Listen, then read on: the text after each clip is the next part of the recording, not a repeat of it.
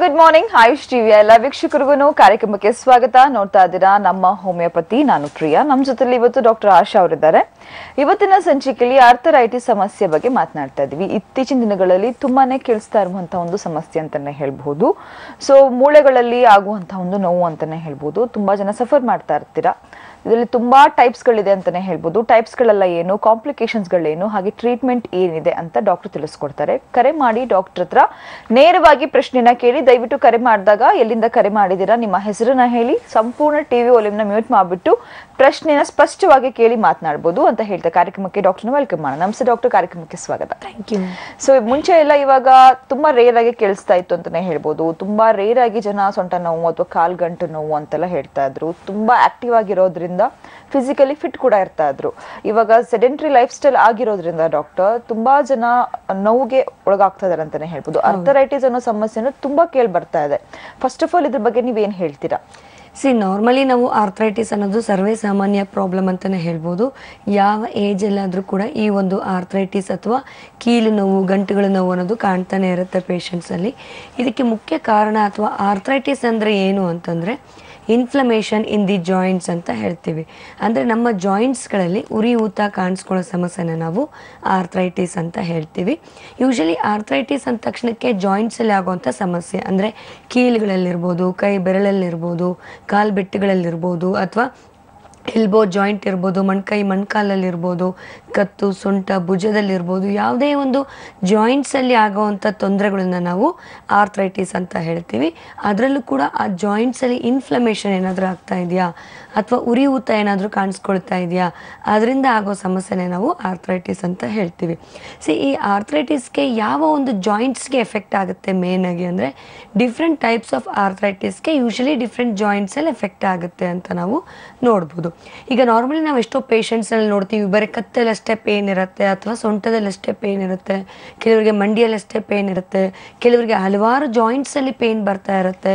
ಒಂದು ಜಾಯಿಂಟಲ್ಲಿತ್ತು ಮತ್ತು ತಿರ್ಗಾ ಇನ್ನೊಂದು ಜಾಯಿಂಟಲ್ಲಿ ಬಂತು. ಹೀಗೆ ದೇಹದಲ್ಲಿ ಹಲವಾರು ಜಾಯಿಂಟ್ಸ್ ಎಲ್ಲದು ನಮಗೆ ಸ್ಪ್ರೆಡ್ ಆಗ್ತಾ ಇದೆ ಅಥವಾ ಹರಡ್ತಾ ಇದೆ ನೋವು ಶಿಫ್ಟ್ ಆಗ್ತಾ ಇದೆ ಪೇನ್ಸ್ ಅಂತಂದರೆ ಇದನ್ನೇ ನಾವು ಡಿಫ್ರೆಂಟ್ ಟೈಪ್ ಆಫ್ ಆರ್ಥ್ರೈಟಿಸ್ ಅಂತ ಹೇಳ್ತೀವಿ. ಈಗ ನಾರ್ಮಲಿ ಕಾಣಿಸ್ಕೊಳ್ಳೋಂಥ ಆರ್ಥ್ರೈಟಿಸ್ ಅಂತಂದರೆ ನಾವು ಆಸ್ಟ್ರಿಯೋ ಆರ್ಥ್ರೈಟಿಸ್ ಅಂತ ಹೇಳ್ತೀವಿ. ಯೂಶಲಿ ಏಜಲ್ಲಿ ಬರುವಂಥ ಸಾಧ್ಯತೆ ಇದು ಹೆಚ್ಚಾಗಿ ನಾವು ನೋಡ್ತೇವೆ. ಈಗ ಏಜ್ ಫ್ಯಾಕ್ಟರ್ ಅಂತಂದರೆ ಈಗ ಎಲ್ಲರಿಗೂ ಗೊತ್ತಿದೆ ಒಂದು ವಯಸ್ಸಾಗ್ತಾ ಹೋದಂಗೆಲ್ಲ ನಮ್ಮ ಒಂದು ಮೂಳೆಗಳ ಸಾಂದ್ರತೆ ಕಡಿಮೆ ಆಗ್ತಾ ಹೋಗುತ್ತೆ. ಜೊತೆಗೆ ಕ್ಯಾಲ್ಶಿಯಂ ಅಬ್ಸಾರ್ಪ್ಷನ್ ಅನ್ನೋದು ದೇಹದಲ್ಲಿ ಕಡಿಮೆ ಆಗ್ತಾ ಹೋಗುತ್ತೆ. ಸೊ ಇದರಿಂದ ಕೂಡ ಒಂದು ಆರ್ಥ್ರೈಟಿಸ್ ಪ್ರಾಬ್ಲಮ್ನ ನಾವು ಕಾಣ್ತೇವೆ. ಸೊ ಈ ಒಂದು ಆಸ್ಟ್ರಿಯೋ ನಾನು ಆಲ್ರೆಡಿ ಹೇಳಿದೆ. ಯೂಶಲಿ ಏಜಲ್ಲಿ ಹೆಚ್ಚಾಗಿ ನಾವು ನೋಡ್ತೇವೆ. ಹಾಗಂತ ಬರೀ ಮೂಳೆ ಸವಿಯೋದು ಏಜಲ್ಲೇ ಅಂತಲ್ಲ ಈವನ್ ಒಂದು ಇಪ್ಪತ್ತು ವರ್ಷದಲ್ಲಿರ್ಬೋದು ಮೂವತ್ತು, ನಲವತ್ತು ವರ್ಷದವರೆಗೆ ಕೂಡ ಒಂದು ಈ ಒಂದು ಆಸ್ಟಿಯೋ ಆರ್ಥ್ರೈಟಿಸ್ ಕಾಣಿಸ್ಕೊಳ್ಳೋ ಸಾಧ್ಯತೆ ಇರುತ್ತೆ. ಯಾಕೆ ಅಂತಂದರೆ ಯೂಶಲಿ ಈ ಒಂದು ಆರ್ಥ್ರೈಟಿಸ್ಗೆ ಕಾರಣಗಳಂತ ನಾವು ಹೇಳಿದಾಗ, ಒಂದು ಈವನ್ ಮೂಳೆಗಳ ಸಾಂದ್ರತೆ ಕಡಿಮೆ ಆಗುವಂಥ ಸಾಧ್ಯತೆ ಇರುವಂಥ ಯೂಶಲಿ ಟೆಂಡೆನ್ಸಿ ಜಾಸ್ತಿ ಇರುತ್ತೆ ಕೆಲವರಿಗೆ. ಅಂದರೆ ಈಗ ಮೂಳೆಗಳ ಸಾಂದ್ರತೆ ಕಡಿಮೆ ಆಗೋದಂದರೆ ಈಗ ಯೂಶಲಿ ಪೌಷ್ಟಿಕಾಂಶ ಏನಾದರೂ ಕಡಿಮೆ ಆಗ್ತಿದೆಯಾ ಮೂಳೆಗಳಲ್ಲಿ? ಅಥವಾ ವೈಟಮಿನ್ ಡಿ ಡೆಫಿಷಿಯನ್ಸಿ ಕೊರತೆ ಏನಾದರೂ ಇದೆಯಾ? ಅಥವಾ ಕ್ಯಾಲ್ಶಿಯಂ ಕೊರತೆ ಏನಾದರೂ ಇದೆಯಾ ಅವರಲ್ಲಿ? ಅಥವಾ ಕ್ಯಾಲ್ಶಿಯಂ ವಿಟಮಿನ್ ಕರೆಕ್ಟಾಗಿ ಇದ್ದರೂ ಕೂಡ ಕೆಲವರಲ್ಲಿ ಮೆಟಬಾಲಿಸಮಲ್ಲಿ ಪ್ರಾಬ್ಲಮ್ ಆಗ್ತಿರುತ್ತೆ ಅಥವಾ ಕ್ಯಾಲ್ಶಿಯಂ ಅಬ್ಸಾರ್ಪ್ಷನಲ್ಲಿ ಪ್ರಾಬ್ಲಮ್ ಆಗ್ತಿರುತ್ತೆ ಸೊ ಇದರಿಂದ ಕೂಡ ಆ ಒಂದು ಮೂಳೆಗಳ ಸಾಂದ್ರತೆ, ಮೂಳೆಗಳ ಸ್ಟ್ರೆಂತ್ ಕಳ್ಕೊಳ್ಳೋ ಸಾಧ್ಯತೆ ಇರುತ್ತೆ. ಇದರಿಂದ ಕೂಡ ಅರ್ಲಿ ಮೂಳೆಗಳು ಸವಿಯೋದನ್ನು ನಾವು ನೋಡ್ತೇವೆ.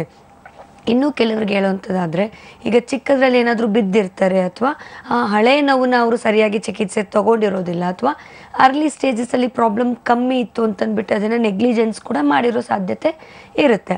ಸೊ ಆ ಟೈಮಲ್ಲಿ ಅದನ್ನು ನಾವು ಸರಿಯಾಗಿ ಚಿಕಿತ್ಸೆ ತಗೊಳ್ಳಿಲ್ಲ ಅಂದರೆ ಅದು ನೆಕ್ಸ್ಟ್ ಅವರ ಪೀರಿಯಡ್ ಆಫ್ ಟೈಮ್ ಅಂದರೆ ಈಗ ಎರಡು ವರ್ಷ, ಐದು ವರ್ಷ, ಹತ್ತು ವರ್ಷದ ನಂತರ ಆ ಹಳೆ ನೋವು ಬರೋ ಸಾಧ್ಯತೆ ಕೂಡ ಕೆಲವರಿಗೆ ಇರುತ್ತೆ. ಸೊ ಹಿಸ್ಟ್ರಿ ಆಫ್ ಟ್ರೋಮಾ ಅಥವಾ ಇಂಜುರಿ ಏನಾದರೂ ಆಗಿತ್ತಾ? ಆ ಜಾಯಿಂಟಿಗೆ ಏನಾದರೂ ಪೆಟ್ಟು ಅಥವಾ ಏಟ್ ಏನಾದರೂ ಆಗಿತ್ತಾ? ಸೊ ಅದನ್ನು ನಾವು ಸರಿಯಾಗಿ ಚಿಕಿತ್ಸೆ ತಗೊಳ್ದಲ್ಲೇ ನಿರ್ಲಕ್ಷ್ಯ ಮಾಡಿದ್ದಲ್ಲಿ.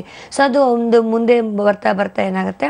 ಆ ಒಂದು ಮೂಳೆಗಳ ಶಕ್ತಿ ಒಂದು ವೇಳೆ ಮೂಳೆಗಳಿಗೆ ಏಟ್ ಆಗಿತ್ತು, ಆಗ ಅದು ನೆಕ್ಸ್ಟ್ ಮೂಳೆಗಳ ಸವಿಯೋದಕ್ಕೆ ಕೂಡ ನಾವು ಕಾರಣ ಆಗಿ ನಾವು ಕಾಣ್ಬೋದು. ಸೊ ಇದರಿಂದ ಕೂಡ ಒಂದು ಮೂಳೆ ಸವಿಯೋ ಸಾಧ್ಯತೆ ಇರುತ್ತೆ. ಜೊತೆಗೆ ಸೈನೋವಿಯಲ್ ಫ್ಲೂಯಿಡ್ ಅಂತ ಹೇಳ್ತೀವಿ. ಅಂದರೆ ಎಲ್ಲರಿಗೂ ಗೊತ್ತಿರುತ್ತೆ ಮೂಳೆಯ ಒಂದು ಜಾಯಿಂಟ್ ಮಧ್ಯದಲ್ಲಿ ಒಂದು ಸೈನೋವಿಯಲ್ ಫ್ಲೂಯಿಡ್ ದ್ರವ ಅಂತ ಏನು ಹೇಳ್ತೀವಿ. ಜೆಲ್ ಅಂಶ ಥರ ಇರ್ಬೋದು ಅಥವಾ ಜಿಡ್ಡಿನ ಅಂಶ ಥರ ಇರ್ಬೋದು. ಈ ಒಂದು ಜಾಯಿಂಟಲ್ಲಿ ನಾವು ನೋಡ್ತೇವೆ. ಯಾವಾಗ ಈ ಜಾಯಿಂಟಲ್ಲಿ ಈ ಜಿಡ್ಡಿನ ಅಂಶ ಕಡಿಮೆ ಆಗ್ತಾ ಹೋಗುತ್ತೆ ಅಥವಾ ಜೆಲ್ ಅಂಶ ಕಡಿಮೆ ಆಗ್ತಾ ಹೋಗುತ್ತೆ, ಆಗ ಏನಾಗುತ್ತೆ? ಆ ಒಂದು ಮೂಳೆಗಳ ಮಧ್ಯದಲ್ಲಿರುವಂಥ ಜಾಯಿಂಟ್ ಸ್ಪೇಸ್ ಕಮ್ಮಿ ಆಗ್ತಾ, ಆ ಜಾಯಿಂಟ್ ಡ್ರೈ ಆಗ್ತಾ ಹೋಗುತ್ತೆ. ಆಗ ಒಂದಕ್ಕೊಂದು ಜಾಯಿಂಟ್ ಉಜ್ಜಾಡೋಕ್ಕೆ ಸ್ಟಾರ್ಟ್ ಆಗುತ್ತೆ ರಬ್ ಆಗೋಕ್ಕೆ ಸ್ಟಾರ್ಟ್ ಆಗುತ್ತೆ. ಇದರಿಂದ ಆ ಫ್ರಿಕ್ಷನ್ ಆಗೋದ್ರಿಂದ ಆ ಪೇಷಂಟಲ್ಲಿ ಸೌಂಡ್ ಕೂಡ ಕೇಳಿಸುತ್ತೆ. ಈಗ ಮಣ್ಕಾಲಲ್ಲಿ ಎಸ್ಪೆಷಲಿ ಅಥವಾ ಭುಜದಲ್ಲಿ ಕೂಡ ನಾವು ನೋಡ್ತೇವೆ.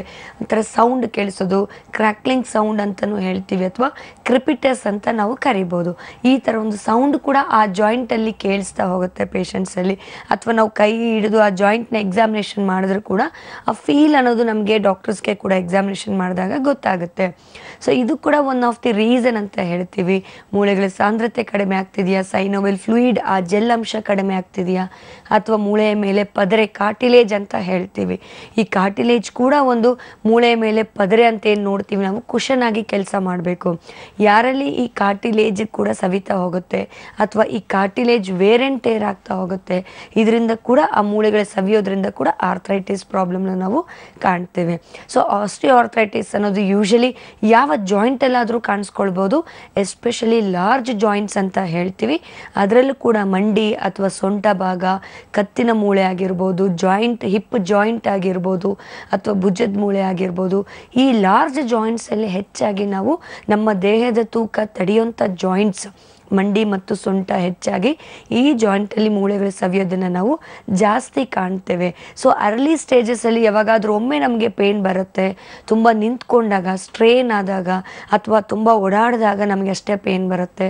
ಸ್ಟೆಪ್ಸ್ ಹತ್ತಬೇಕಾದಾಗ ಅಥವಾ ಕೆಳಗಡೆ ಕೂತ್ಕೊಂಡಾಗ ಸಡನ್ನಾಗಿ ಹೆಜ್ಜೆ ಎತ್ತಿಡೋದಕ್ಕಷ್ಟೇ ನಮಗೆ ಕಷ್ಟ ಆಗುತ್ತೆ. ಬಾಕಿ ಟೈಮಲ್ಲಿ ನಮ್ಗೆ ಏನೂ ಇರೋದಿಲ್ಲ ಅಂತ ಕೂಡ ಹೇಳ್ತಾರೆ ಅರ್ಲಿ ಸ್ಟೇಜಸಲ್ಲಿ ಬಟ್ ಅದೇ ಸಮಸ್ಯೆ ಜಾಸ್ತಿ ಆಗ್ತಾ ಆಗ್ತಾ ಸ್ಟೇಜಸ್ ಹೆಚ್ಚಾಗ್ತಾ ಹೋದಂಗೆಲ್ಲ ಪ್ರಾಬ್ಲಮ್ ಕೂಡ ಅವರಲ್ಲಿ ಹೆಚ್ಚಾಗ್ತಾ ಹೋಗುತ್ತೆ. ಈವನ್ ದಿನನಿತ್ಯ ಕೆಲಸ ಮಾಡ್ಕೊಳ್ಳೋದಕ್ಕೆ ಕೂಡ ಪೇಷಂಟ್ಸ್ಗೆ ಪೇನ್ ಅನ್ನೋದು ಕಾಣ್ತಾ ಹೋಗ್ತೀವಿ. ಹಾಗೆ ಮೂಮೆಂಟ್ಸ್ ಮಾಡೋಕ್ಕೆ ಕೂಡ ಅವರಲ್ಲಿ ತುಂಬಾ ಕಷ್ಟ ಆಗ್ತಾ ಇರುತ್ತೆ. ಒಂದು ದಿನನಿತ್ಯ ಸಿಂಪಲ್ ಬೇಸಿಕ್ ಈವನ್ ನಡಿಬೇಕಂದ್ರೂ ಕೂಡ ನಮಗೆ ತುಂಬ ಕಷ್ಟ ಆಗ್ತದೆ ಪ್ರತಿನಿತ್ಯ ಪೇನ್ ಕಾಣಿಸ್ಕೊಳ್ತಿದೆ. ಹಾಗೆ ಈವನ್ ಮಲ್ಕೊಂಡಾಗ ನೈಟ್ ಟೈಮ್ಸ್ ಕೂಡ ನಮಗೆ ಈ ನೋವಿಂದ ನಿದ್ರೆ ಕೂಡ ಮಾಡೋದಕ್ಕಾಗೋದಿಲ್ಲ. ಅಷ್ಟು ಸಿವಿಯರ್ ಅನ್ನೋದು ಪೇನ್ ನಮ್ಮಲ್ಲಿ ಕಾಣಿಸ್ಕೊಳ್ತಿರುತ್ತೆ. ಯಾವುದೇ ಒಂದು ಚಟುವಟಿಕೆ ಮಾಡಬೇಕಂದ್ರೆ ಕೂಡ ನೋವು ಅನ್ನೋದು ಇದ್ದೇ ಇರುತ್ತೆ. ಅಷ್ಟು ಸಿವಿಯರ್ ನಮಗೆ ಈ ನೋವು ಅನ್ನೋದು ಕಾಣಿಸ್ಕೊಳ್ತಿದೆ. ಸೊ ಕೆಲವು ರೆಸ್ಟ್ ಮಾಡಿದ್ರೆ ನೋವು ಕಮ್ಮಿ ಆಗುತ್ತೆ. ಕೆಲವರಿಗೆ ಮಾತ್ರೆ ಔಷಧಿ ತೊಗೊಳ್ಳೇಬೇಕಾಗುತ್ತೆ. ನೋವಿನ ಮಾತ್ರೆ ತಗೊಂಡ್ರೇ ನಮಗೆ ಸ್ವಲ್ಪ ಆ ಟೈಮಲ್ಲಿ ನೋವು ಕಮ್ಮಿ ಆಗುತ್ತೆ. ಮತ್ತೆ ತಿರ್ಗಾ ನಮಗೆ ಅದೇ ರೀತಿ ಪೇನ್ ಅನ್ನೋದು ಬರ್ತಾನೆ ಇರುತ್ತೆ. ಸೊ ಯಾಕೆ ಈ ಥರ ಆಗ್ತಾ ಇರುತ್ತೆ? ಫಸ್ಟ್ ಅದನ್ನು ನಾವು ಅರ್ಥ ಮಾಡಿಕೊಂಡ್ರೆ ಅದಕ್ಕೆ ನಮ್ಮ ಹೋಮಿಯೋಪತಿಯಲ್ಲಿ ಖಂಡಿತವಾಗ್ಲೂ ಈ ಒಂದು ಮೂಳೆಗಳ ಸಾಂದ್ರತೆ ಹೆಚ್ಚಿಸೋದಕ್ಕೆ ಕ್ಯಾಲ್ಶಿಯಂ ಅಬ್ಸಾರ್ಪ್ಷನ್ ಇಂಪ್ರೂವ್ ಮಾಡೋದಕ್ಕೆ ಕ್ಯಾಲ್ಶಿಯಂ ಮೆಟಬಾಲಿಸಮ್ನ ಇಂಪ್ರೂವ್ ಮಾಡೋದಕ್ಕೆ ನಮ್ಮಲ್ಲಿ ಚಿಕಿತ್ಸೆಯನ್ನು ಕೊಡೋದ್ರಿಂದ ಯಾವುದೇ ರೀತಿಯ ಅಡ್ಡ ಪರಿಣಾಮ ಸೈಡ್ ಎಫೆಕ್ಟ್ಸ್ ಇಲ್ಲದಂಗೆ ಒಂದು ಔಷಧಿಯಲ್ಲೇ ನಿಮ್ಮ ಒಂದು ಮೂಳೆಗಳನ್ನು ಸ್ಟ್ರೆಂತ್ ಬರೋದಕ್ಕೆ ಚಿಕಿತ್ಸೆಯನ್ನು ಕೊಡೋದ್ರಿಂದ ಮುಂದೆ ಅದು ಮೂಳೆ ಸವಿಯೋದನ್ನ ಕೂಡ ನಾವು ತಡಿತಾ ಹೋಗ್ಬೋದು. ವೀಕ್ಷಕರೇ ಕಾರ್ಯಕ್ರಮದಲ್ಲಿ ಡಾಕ್ಟರ್ ಆಶಾ ಅವರು ನಮ್ಮ ಆರ್ಥರೈಟಿ ಸಮಸ್ಯೆ ಬಗ್ಗೆ ಮಾತನಾಡ್ತಾ ಇದ್ದೀವಿ. ಡೆಫಿನೆಟ್ಲಿ ಇದ್ರ ಬಗ್ಗೆ ಇನ್ನಷ್ಟು ಸಾಕಷ್ಟು ಇನ್ಫಾರ್ಮೇಶನ್ ಡಾಕ್ಟರ್ ಪಾಸ್ ಆನ್ ಮಾಡ್ತಾರೆ. ನೀವುಗಳು ಕೂಡ ಕರೆ ಮಾಡಬಹುದು. ಕರೆ ಮಾಡಿ ಡಾಕ್ಟರ್ ಹತ್ರ ಪ್ರಶ್ನೆಯನ್ನ ಕೂಡ ಕಳ್- ಕೇಳಬಹುದು. ಹಾಗೆ ವೀಕ್ಷಕರೇ, ಬೆಂಗಳೂರಿನಲ್ಲಿ ಮಲ್ಲೇಶ್ವರಂ ಹಾಗೂ ಜಯನಗರಲ್ಲಿ ಎರಡು ಬ್ರಾಂಚಸ್ ಇದೆ. ಮೈಸೂರು, ಹುಬ್ಳಿ, ದಾವಣಗೆರೆ, ಹಾಸನ್, ರಾಯಚೂರು, ಕಲಬುರಗಿಯಲ್ಲೂ ಕೂಡ ಇದೆ. ನಿಮ್ಮ ಊರಿಗೆ ಯಾವೊಂದು ಕ್ಲಿನಿಕ್ ಹತ್ರ ಅನ್ಸುತ್ತೋ ಡೆಫಿನೆಟ್ಲಿ ವಾಕ್ ಇನ್ ಮಾಡಬಹುದು ಅರ್ಥರಟಿ ಸಮಸ್ಯೆ ಒಂದೇ ಅಲ್ಲ. ಬೇರೆ ಯಾವುದೇ ರೀತಿಯ ಹೆಲ್ತ್ ಪ್ರಾಬ್ಲಮ್ಸ್ ಇದ್ರೂ ಕೂಡ ಡೆಫಿನೆಟ್ಲಿ ವಾಕ್ ಇನ್ ಮಾಡಬಹುದು ಅಂತ ಹೇಳ್ತಾ ಕಾರ್ಯಕ್ರಮ ಮುಂದುವರ್ಸೋಣ. ಹಾಗೆ ಡಾಕ್ಟರ್, ಇವಾಗ ಅರ್ಥರೈಟಿಸ್ ಸಮಸ್ಯೆ ಮಹಿಳೆಯರಲ್ಲಿ ಜಾಸ್ತಿ ಕಾಣಿಸ್ಕೊಳ್ಳುವಂಥದ್ದು, ಅದು ಪುರುಷರಲ್ಲಿ ಜಾಸ್ತಿ ಕಾಣಿಸ್ಕೊಳ್ಳುವಂಥದ್ದು. ಯಾಕಂದ್ರೆ ಇವಾಗ ಒಬೆಸಿಟಿ ಅಂತ ಬಂದಾಗ ಮಹಿಳೆಯರಲ್ಲೇ ಒಬೆಸಿಟಿ ಜಾಸ್ತಿ. ಬಟ್ ಅರ್ಥರೈಟಿಸ್ ಸಮಸ್ಯೆ ಬರೀ ದೇಹದ ತೂಕ ಜಾಸ್ತಿ ಇದ್ದವರಲ್ಲಷ್ಟೇ ಅಲ್ಲ ದೇಹದ ತೂಕ ಸಣ್ಣ ಇರೋರು ಕೂಡ ಹೇಳ್ತಾ ಇರ್ತಾರೆ, ನಮಗೆ ಸಮಸ್ಯೆ ಇದೆ ಅಂತ. ಸೊ ಇದ್ರ ಬಗ್ಗೆ ಏನು ಹೇಳ್ತೀರಾ? ಡೆಫಿನೆಟ್ಲಿ ಯಾಕೆಂತಂದ್ರೆ, ಈಗ ಎಷ್ಟೋ ಪೇಷಂಟ್ಸ್ ನಾವು ನೋಡ್ತೇವೆ. ಈಗ ಏಜ್ ಫ್ಯಾಕ್ಟರ್ ಅಷ್ಟೇ ಅಲ್ಲದೆ, ಒಂದು ತೂಕ, ಒತ್ತಡ ಜಾಸ್ತಿ ಆದಷ್ಟು ಬಾಡಿ ವೆಯ್ಟ್ ಜಾಸ್ತಿ ಆದಷ್ಟು ಕೂಡ ನಮ್ಮ ಬಾಡಿಯ ವೆಯ್ಟ್ ನಮ್ಮ ಜಾಯಿಂಟ್ಸ್ ಮೇಲೆ ಬೀಳ್ತಾ ಇರುತ್ತೆ. ಎಸ್ಪೆಷಲಿ ಸೊಂಟ ಮತ್ತು ಮಂಡಿಯ ಮೂಳೆಗಳ ಮೇಲೆ ಜಾಯಿಂಟ್ ಮೇಲೆ ಹೆಚ್ಚಾಗಿ ನಮ್ಮ ದೇಹದ ತೂಕ, ಒತ್ತಡ ಬೀಳ್ತಾ ಇರುತ್ತೆ. ಸೊ ಇದರಿಂದ ಏನಾಗುತ್ತೆ? ಪೇಯ್ನ್ಸ್ ಅದ್ರ ಮೇಲೆ, ಮೂಳೆ ಮೇಲೆ ಒತ್ತಡ ಬಿದ್ದು ಬಿದ್ದು ಆ ಮೂಳೆಗಳು ಸವಿಯೋದಕ್ಕೆ ಕೂಡ ಬೇಗ ಆಗೋ ಸಾಧ್ಯತೆ ಇರುತ್ತೆ. ಈಗ ಬೇರೆಯವ್ರಿಗೆ ಲೇಟಾಗಿ ಸ್ವಲ್ಪ ಒಂದು after fifty sixty years Savita ಹೋದರೆ, ಇವರಿಗೆ ಫಾರ್ಟಿ ಇಯರ್ಸ್ಗೆ ಸವಿತಾ ಹೋಗ್ಬೋದು ಬಿಕಾಸ್ ಆಫ್ ಒಬೇಸಿಟಿ ಅಂತ ಕೂಡ ನಾವು ಹೇಳ್ತೀವಿ. ಎಸ್ಪೆಷಲಿ ಒಬೇಸಿಟಿ ಅನ್ನೋದು ಫೀಮೇಲ್ಸಲ್ಲಿ ನಾವು ಹೆಚ್ಚಾಗಿ ಕೂಡ ಕಾಣ್ತೇವೆ. ಬಿಕಾಸ್ ಆಫ್ ಹಾರ್ಮೋನಲ್ ಇಂಬ್ಯಾಲೆನ್ಸ್ ಆಗ್ಬೋದು, ಅಥವಾ ಅವರ ಒಂದು ಫಿಸಿಕಲ್ ಆ್ಯಕ್ಟಿವಿಟಿ ಇಲ್ಲದಂಗೆ ಕೆಲವರಲ್ಲಿ ಏನಾಗುತ್ತೆ ಈಗ ಎಸ್ಪೆಷಲಿ ಕೆಲವರಿಗೆ ಆ್ಯಕ್ಟಿವಿಟೀಸ್ ಇರೋದಿಲ್ಲ. Just only house hold activities ಅಷ್ಟರಲ್ಲೇ ಅವರು ಈಗ ಕೆಲವರು ಅಂದ್ಕೊಳ್ತಾರೆ, ನಾವು ಮನೆಯಲ್ಲೆಲ್ಲ ನಾವೇ ಕೆಲಸ ಮಾಡ್ಕೊಳ್ತೀವಿ. ಆದರೂ ನಮಗೆ ತೂಕ ಕಡಿಮೆ ಆಗ್ತಾ ಇಲ್ಲ ಅಂತ. See definitely normal house hold ಬೇರೆ ಆಗುತ್ತೆ, ಮನೆಯಲ್ಲಿ ಕೆಲಸ ಬೇರೆ ಆಗುತ್ತೆ, ನಾವು ಎಷ್ಟು ವಾಕ್ ಮಾಡ್ತೀವಿ ಬ್ರಿಸ್ಕ್ ವಾಕಿಂಗ್ ಅಂತ ಹೇಳ್ತೀವಿ, ಅದೇ ಬೇರೆ ಆಗುತ್ತೆ. ಯಾಕಂದರೆ ಈಗ ನಾವು ಮನೇಲಿ ಏನೇ ಮಾಡಿದ್ರು ಕೂಡ ಒಂದು ಸ್ವಲ್ಪ ರೆಸ್ಟ್ ತೊಗೊಳ್ಳೋದು ಮಾಡೋದು, ಈ ಥರ ಮಾಡಿದಾಗ ಅದನ್ನು ನಾವು ಫಿಸಿಕಲ್ ಆ್ಯಕ್ಟಿವಿಟಿ ಅಂತ ಹೇಳೋಕ್ಕೆ ಕಷ್ಟ ಆಗುತ್ತೆ. ಸಿ ವಾಕಿಂಗ್ ಅಂತಂದರೆ definitely brisk walk energy burn ಮಾಡೋವಂಥದ್ದು ಅದನ್ನು ನೀವು ಮಾಡಿದಾಗ ಸೊ ಆಗ ನಿಮ್ಮ ಬಾಡಿಯ ವೇಟ್ ಕೂಡ ಕಡಿಮೆ ಆಗ್ತಾ ಹೋಗುತ್ತೆ. ಸೊ ನೀವು ಎಷ್ಟೇ ನಾರ್ಮಲ್ ವಾಕ್ ಮಾಡಿದ್ರು ಕೂಡ ಕೆಲವೊಮ್ಮೆ ವೇಟ್ ಯಾಕೆ ಕಡಿಮೆ ಆಗ್ತಾ ಇರಲ್ಲ ಅಂದರೆ ನಿಮ್ಮ ಫುಡ್ ಹ್ಯಾಬಿಟ್ಸ್ ಕೂಡ ಮುಖ್ಯವಾಗಿ ನಾವು ನೋಡಬೇಕಾಗುತ್ತೆ. ಸಿ ನಾವೆಲ್ಲ ಆಹಾರ ತೊಗೊಳ್ತೀವಿ, ಜೊತೆಗೆ ವಾಕ್ ಮಾಡ್ತೀವಿ ಅಂದ ತಕ್ಷಣಕ್ಕೆ ನಾವು ಸಣ್ಣ ಆಗ್ತೀವಿ ಅಂತಲ್ಲ ಸಿ ಮೇನ್ ನಮ್ಮ ಒಂದು ಇಂಟೇಕ್ ಆಫ್ ಕೂಡ ಕೌಂಟ್ ಆಗುತ್ತೆ. ಯಾವ ರೀತಿ ಆಹಾರ ಪದ್ಧತಿ ನಾವು ಅಭ್ಯಾಸ ಮಾಡ್ಕೊಂಡಿದ್ದೀವಿ? ಬಿಕಾಸ್ ವೇಟ್ ರಿಡಕ್ಷನ್ಗೆ ನಾವು ಸೆವೆಂಟಿ ಟು ಏಯ್ಟಿ ಪರ್ಸೆಂಟ್ ನಾವು ಡಯಟ್ ಅನ್ನೋದು ತುಂಬಾ ಮುಖ್ಯ ಅಂತ ಹೇಳ್ತೀವಿ. ಜೊತೆಗೆ ಫಿಸಿಕಲ್ ಆ್ಯಕ್ಟಿವಿಟಿ ಕೂಡ ನಾವು ಮಾಡ್ಕೊಳ್ಳೋದು ತುಂಬಾ ಉತ್ತಮ ಅಂತ ಹೇಳ್ತೀವಿ.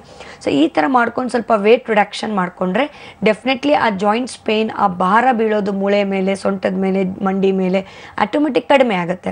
ಸೊ ಯಾವಾಗ ಸ್ವಲ್ಪ ಭಾರ ಬೀಳೋದು, ಒತ್ತಡ ಬೀಳೋದು ಕಡಿಮೆ ಆಗ್ತಾ ಹೋಗುತ್ತೆ ಜಾಯಿಂಟಲ್ಲಿ ಸ್ವಲ್ಪ ಪೇಯ್ನ್ ಕೂಡ ಪೇಷಂಟ್ಸ್ಗೆ ರಿಲೀಫ್ ಆಗ್ತಾ ಹೋಗುತ್ತೆ. ಸೊ ಇನಿಷಿಯಲ್ ನಾವು ಟ್ರೀಟ್ಮೆಂಟ್ ಅಂತ ಹೇಳಿದಾಗ ಫಸ್ಟು ವೇಟ್ನ ಕಂಟ್ರೋಲ್ ಮಾಡ್ಕೊಳ್ಳಿ. Even sixty five seventy K G ಇದ್ದರೂ ಕೂಡ ಅವರ ಒಂದು ಹೈಟಿಗೆ ಎಷ್ಟು ಮಟ್ಟಿಗೆ ಇದ್ದರೆ ಒಳ್ಳೆಯದು ಅನ್ನೋದು ನೀವು ಡಾಕ್ಟ್ರನ್ನ ಬಂದು ಭೇಟಿ ಮಾಡಿಕೊಂಡು ತಿಳ್ಕೊಂಡ್ರೆ ಸೊ ಅಟ್ಲೀಸ್ಟ್ ಸ್ವಲ್ಪ ವೇಟ್ ರಿಡಕ್ಷನ್ ಮಾಡಿಕೊಂಡ್ರೆ ನಿಮಗೆ ಒಂದು ಕಾಯಿಲೆ ಕೂಡ ಕಂಟ್ರೋಲ್ ಆಗ್ತಾ ಹೋಗುತ್ತೆ.